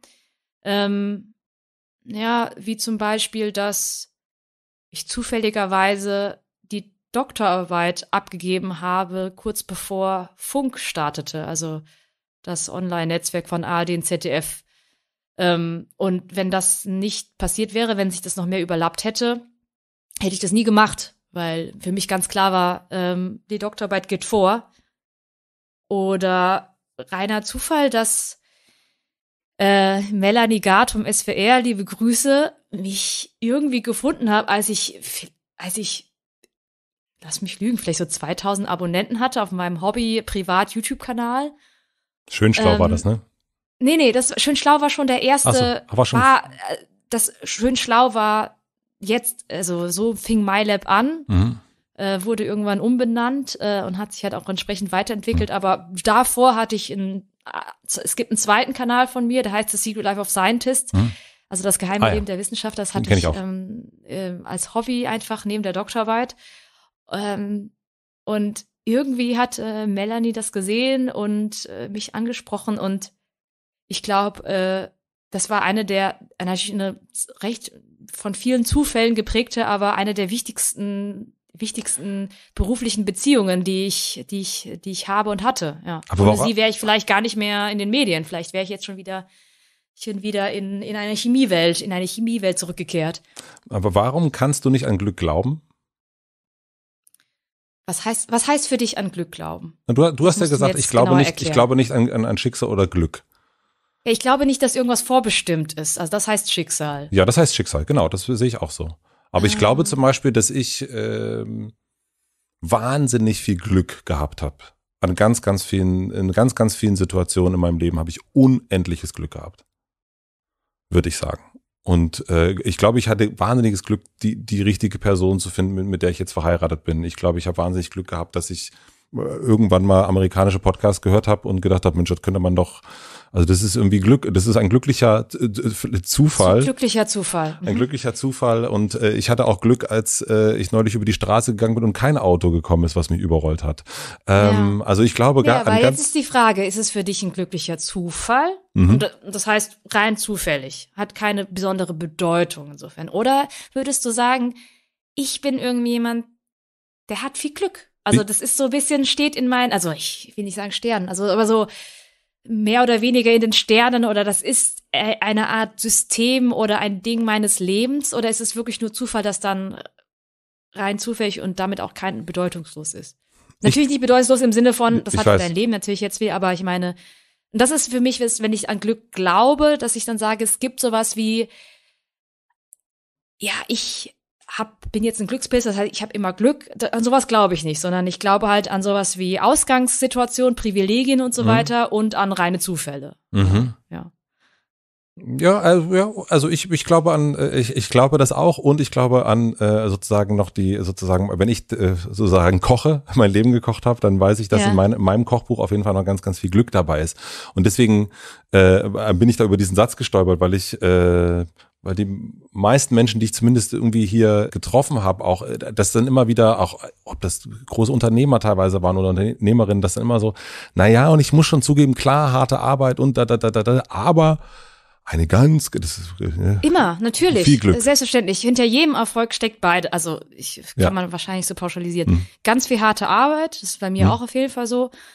Ähm, und auf jeden Fall Glück. Also niemand kann sich ein, darf sich einbilden, sollte sich einreden, dass man das, dass man äh, das harte Arbeit alles ist, ja. ne? sondern es ist natürlich immer Zufall und natürlich äh, auch gewisse äh, Privilegien bei vielen. Mhm. Ne? Also es ja, gibt natürlich dann immer diese, wo bin ich geboren, krassen, alles. From Rags to Riches mhm. Stories mhm. gibt's dann immer mal wieder, aber am Ende sagt die Statistik ja doch was anderes, nämlich ja, dass der Bildungsgrad zum Beispiel hoch mit hm. äh, Erfolg korreliert und so weiter und so fort. Ne? Also das muss man sich auch einfach, das muss man sich bewusst sein, ja. Ich hätte noch schnelle Fragen fürs Ende, äh, mhm. wenn du, also drei schnelle Fragen, aber ich, eine Frage muss ich davor noch einschieben, ob du jemals einen religiösen Moment gehabt hast. Ja. Also ich war als Jugendliche eine extreme äh, stolze Atheistin. Äh, und äh, ich hatte aber trotzdem Rallye-Unterricht, mhm. weil mir die Rallye-Lehrerin sehr gefallen, also weil ich die Rallye-Lehrerin cooler fand als unseren Ethiklehrer. Mhm. Und wir hatten dann eine in einer Unterrichtsstunde sollte hat haben wir so an der an so einer Flipchart gesammelt, was bedeutet Gott mhm. eigentlich äh, für euch? Und dann haben wir halt so Sachen drauf Liebe, Gerechtigkeit, bla bla bla. Und dann ähm, hat irgendjemand gesagt aus der Klasse, sie kann sich nicht vorstellen, wie jemand nicht an Gott glauben kann. Ja. Und ich dachte im ersten Moment so, hä, wie? Wie kann man sich das nicht vorstellen? Das ist doch ganz einfach. Es gibt keinen Gott. Und dann habe ich aber verstanden, was sie meinte. Sie meinte, sie hat auf diese Tafel geblickt, hat an Liebe und Gerechtigkeit mhm. und so weiter äh, gesehen, hat gesagt, wie kann man daran nicht glauben? Mhm. Und da ist mir so ein erstes Licht aufgegangen, so quasi meinen eigenen kleinen Horizont, wo ich sagte, ach so, ja, man, vielleicht darf man es auch nicht so wörtlich nehmen. Das heißt, mir war klar, Religion im Sinne von das, was in der Bibel steht, das werde ich nie so in dem Sinne glauben können. Dafür bin ich natürlich zu rational oder zu, aber dass man an sowas glaubt wie Gerechtigkeit oder Liebe, ich glaube, da gehe ich vielleicht auch schon ziemlich mit, auch wenn ich das äh, nicht so gut artikulieren kann. Und ein Aha-Moment hatte ich auch, ähm, wir waren, ich habe eine Zeit lang in, in Boston gelebt, mhm. also in, in den USA und, mhm. und genau, und wir waren einmal, äh, war ich mit meinem Mann, damals Freund, über Weihnachten ähm, auf Puerto Rico. Mhm. Das ist, äh, weil das quasi die Küste runter dann gar nicht mehr so eine lange Reise ist. Und wir waren einfach so aus Spaß ähm, an Weihnachten in so einer Messe.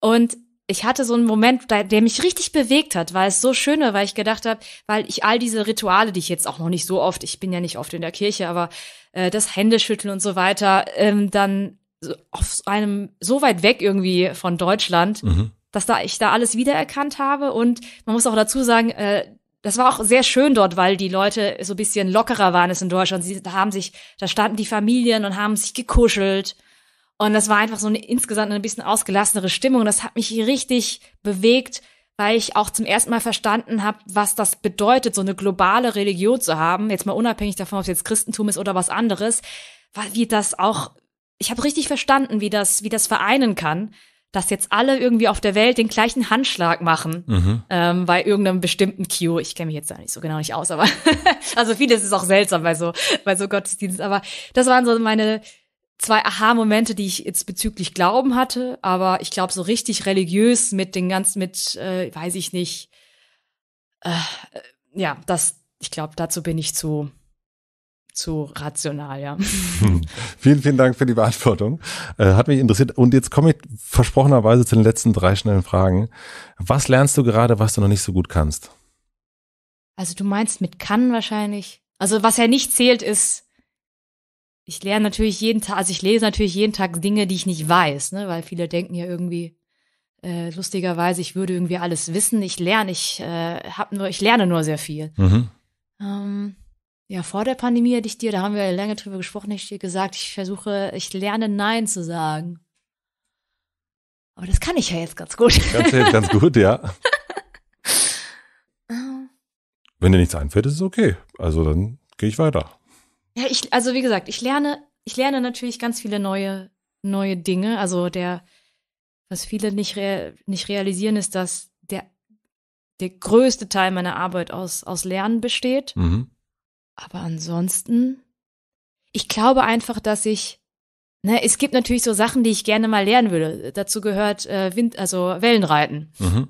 Ich kann dir jetzt schon sagen, ich bin da sehr schlecht drin. Ich würde das so gerne mal machen. Aber es gibt irgendwie nichts, wo ich sagen würde, das muss ich jetzt irgendwie noch lernen, um ein erwachsener Mensch oder ein vollständiger mhm. Mensch zu sein. Das ist alles äh, Luxus, sage ich mal, Add-on, Bonus. Gut, dann äh, äh, kommt die nächste Frage. Welches Buch würdest du mir und allen, die hier zugehört haben, nach diesem Gespräch zum Weiterlesen empfehlen? Also äh, natürlich abgesehen von meinen Büchern, ähm, was mich jetzt äh, was dich bewegt hat in irgendeiner Form. Ja, was mich jetzt viel zum Nachdenken gebracht hat, jetzt innerhalb des letzten Jahres, war ähm, Erzählen der Affen. Vor allem möchte ich das allen Menschen empfehlen, die sie, so wie ich, sich eher so in der Wissenschaft verorten mhm. oder als sehr rationale Menschen sehen. Für mich war das einfach so die Zusatzerhellung zu meiner persönlichen Erfahrung der letzten zwei Jahre, dass man sagt, die unsere Erzählungen, die Geschichten, die Narrative, also wie der erzählende, also dass wir Menschen eigentlich, das was uns Menschen macht, das erzähl, das Geschichten erzählen sind, dass wir eigentlich erzählende Affen sind. Das ist, glaube ich, so war so eine große Aha, ein, äh, ja, ein Aha-Moment für mich und meine Arbeit, um auch zu verstehen, dass ja Fakten, logisches Denken ist ja alles schön und gut. Mhm. Aber am Ende brauchst du, mache ich manchmal vielleicht auch unbewusst, habe ich ja oft gemacht, dass ich unbewusst auch ein Narrativ hatte oder eine Geschichte erzählt habe. Aber das ist es, wie man bei Menschen ankommt. Und ähm, ja, sehr gutes Buch, sehr erhellend. Das ist von Friedemann Karek und Samira El-Wasil, oder? Genau. Ja, ja. ja. Ähm, und dann die letzte Frage, stell dir vor, ich habe eine große Plakatwand am Alexanderplatz und du darfst entscheiden, was für alle drauf zu lesen sein würde. Was würdest du draufschreiben?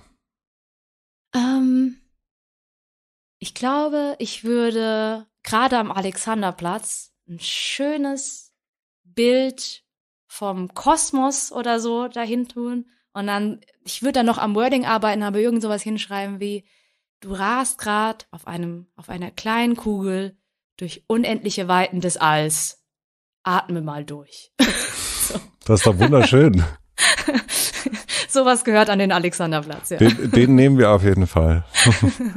vielen, vielen Dank für deine Zeit und dass du äh, Ja gesagt hast, äh, obwohl du so oft Nein sagst. Und das äh, ja. fand ich eine sehr, sehr tolle Zeit, die wir hier zusammen hatten. Und ich äh, freue mich, wenn wir irgendwann mal eine zweite Runde hatten, weil ich habe hier noch ganz viel, woran erkennt man gute Studien und äh, alles Mögliche. Aber äh, vielleicht gibt es irgendwann mal eine zweite Runde. Also vielen, genau, vielen Dank fürs, fürs Ja sagen. Zweimal. Sehr gerne. Danke für das schöne Gespräch. Danke, danke. Thank you. Das war Mighty Nguyen Kim. Vielen, vielen herzlichen Dank fürs Zuhören. Endlich war sie da, muss man sagen, denn ihr habt euch Mighty schon ganz oft gewünscht und ich mir auch und jetzt hat es endlich geklappt. Mir ist vor allem hängen geblieben, dass man sich bei wissenschaftlichen Headlines, bei Artikeln, bei Studien immer auch mit der Methode auseinandersetzen muss, damit man das Ergebnis auch wirklich einschätzen kann, ob das wirklich was taugt. Das ist gar nicht so einfach. Denn woran erkennt man als Laie, was eine richtige Methode ist, gerade wenn man nicht in der Uni war, wie ich zum Beispiel. Maitis Buch Die kleinste gemeinsame Wirklichkeit schult schon mal gut darin, aber ich glaube, ich muss mich darin noch mal ein bisschen vertiefen. Vielleicht mache ich das in einer zweiten Runde mit Maiti noch mal. Ich glaube, da brauche ich noch ein bisschen mehr Wissen. Wie geht's euch damit? Geht's euch da ähnlich? Schreibt mir gern, schickt mir gern Fotos, wo ihr und wann ihr diese Folge gehört habt und was euch hängen geblieben ist und was ihr euch vielleicht nach dieser Folge so fragt. Entweder auf Instagram oder hotelmatze.mitvergnügen www.ftf.com. Vielen herzlichen Dank dafür. Herzlichen Dank auch an Lena Rocholl für die redaktionelle Unterstützung, an Maximilian Frisch für den Mix und den Schnitt und an Jan Köppen für die Musik. Und jetzt gibt's noch einen kleinen Hinweis in eigener Sache. Ich habe schon gesagt, ich war nie in einer Uni, aber habe jetzt ein Buch geschrieben, das nennt sich Die Akademie meines Lebens. Und darin versammle ich die Erkenntnisse aus den letzten 100 Folgen Ote Matze. Ich habe mich am Anfang des Jahres zurückgezogen, habe mir viele, viele Folgen nochmal angehört und habe mir die rausgesucht, die für mich den größten Erkenntnisgewinn, die neueste Perspektive mitgebracht haben. Und die versammle ich jetzt im Buch Die Akademie meines Lebens. Das Buch kommt am 29.09. raus und ich freue mich sehr, wenn ihr da mal reinlest und natürlich noch mehr, wenn ihr es kauft. Die Akademie meines Lebens ab dem 29.09. Vielen, vielen herzlichen Dank dafür und jetzt hören wir uns wieder nächste Woche Mittwoch. Bis dahin, euer Matze.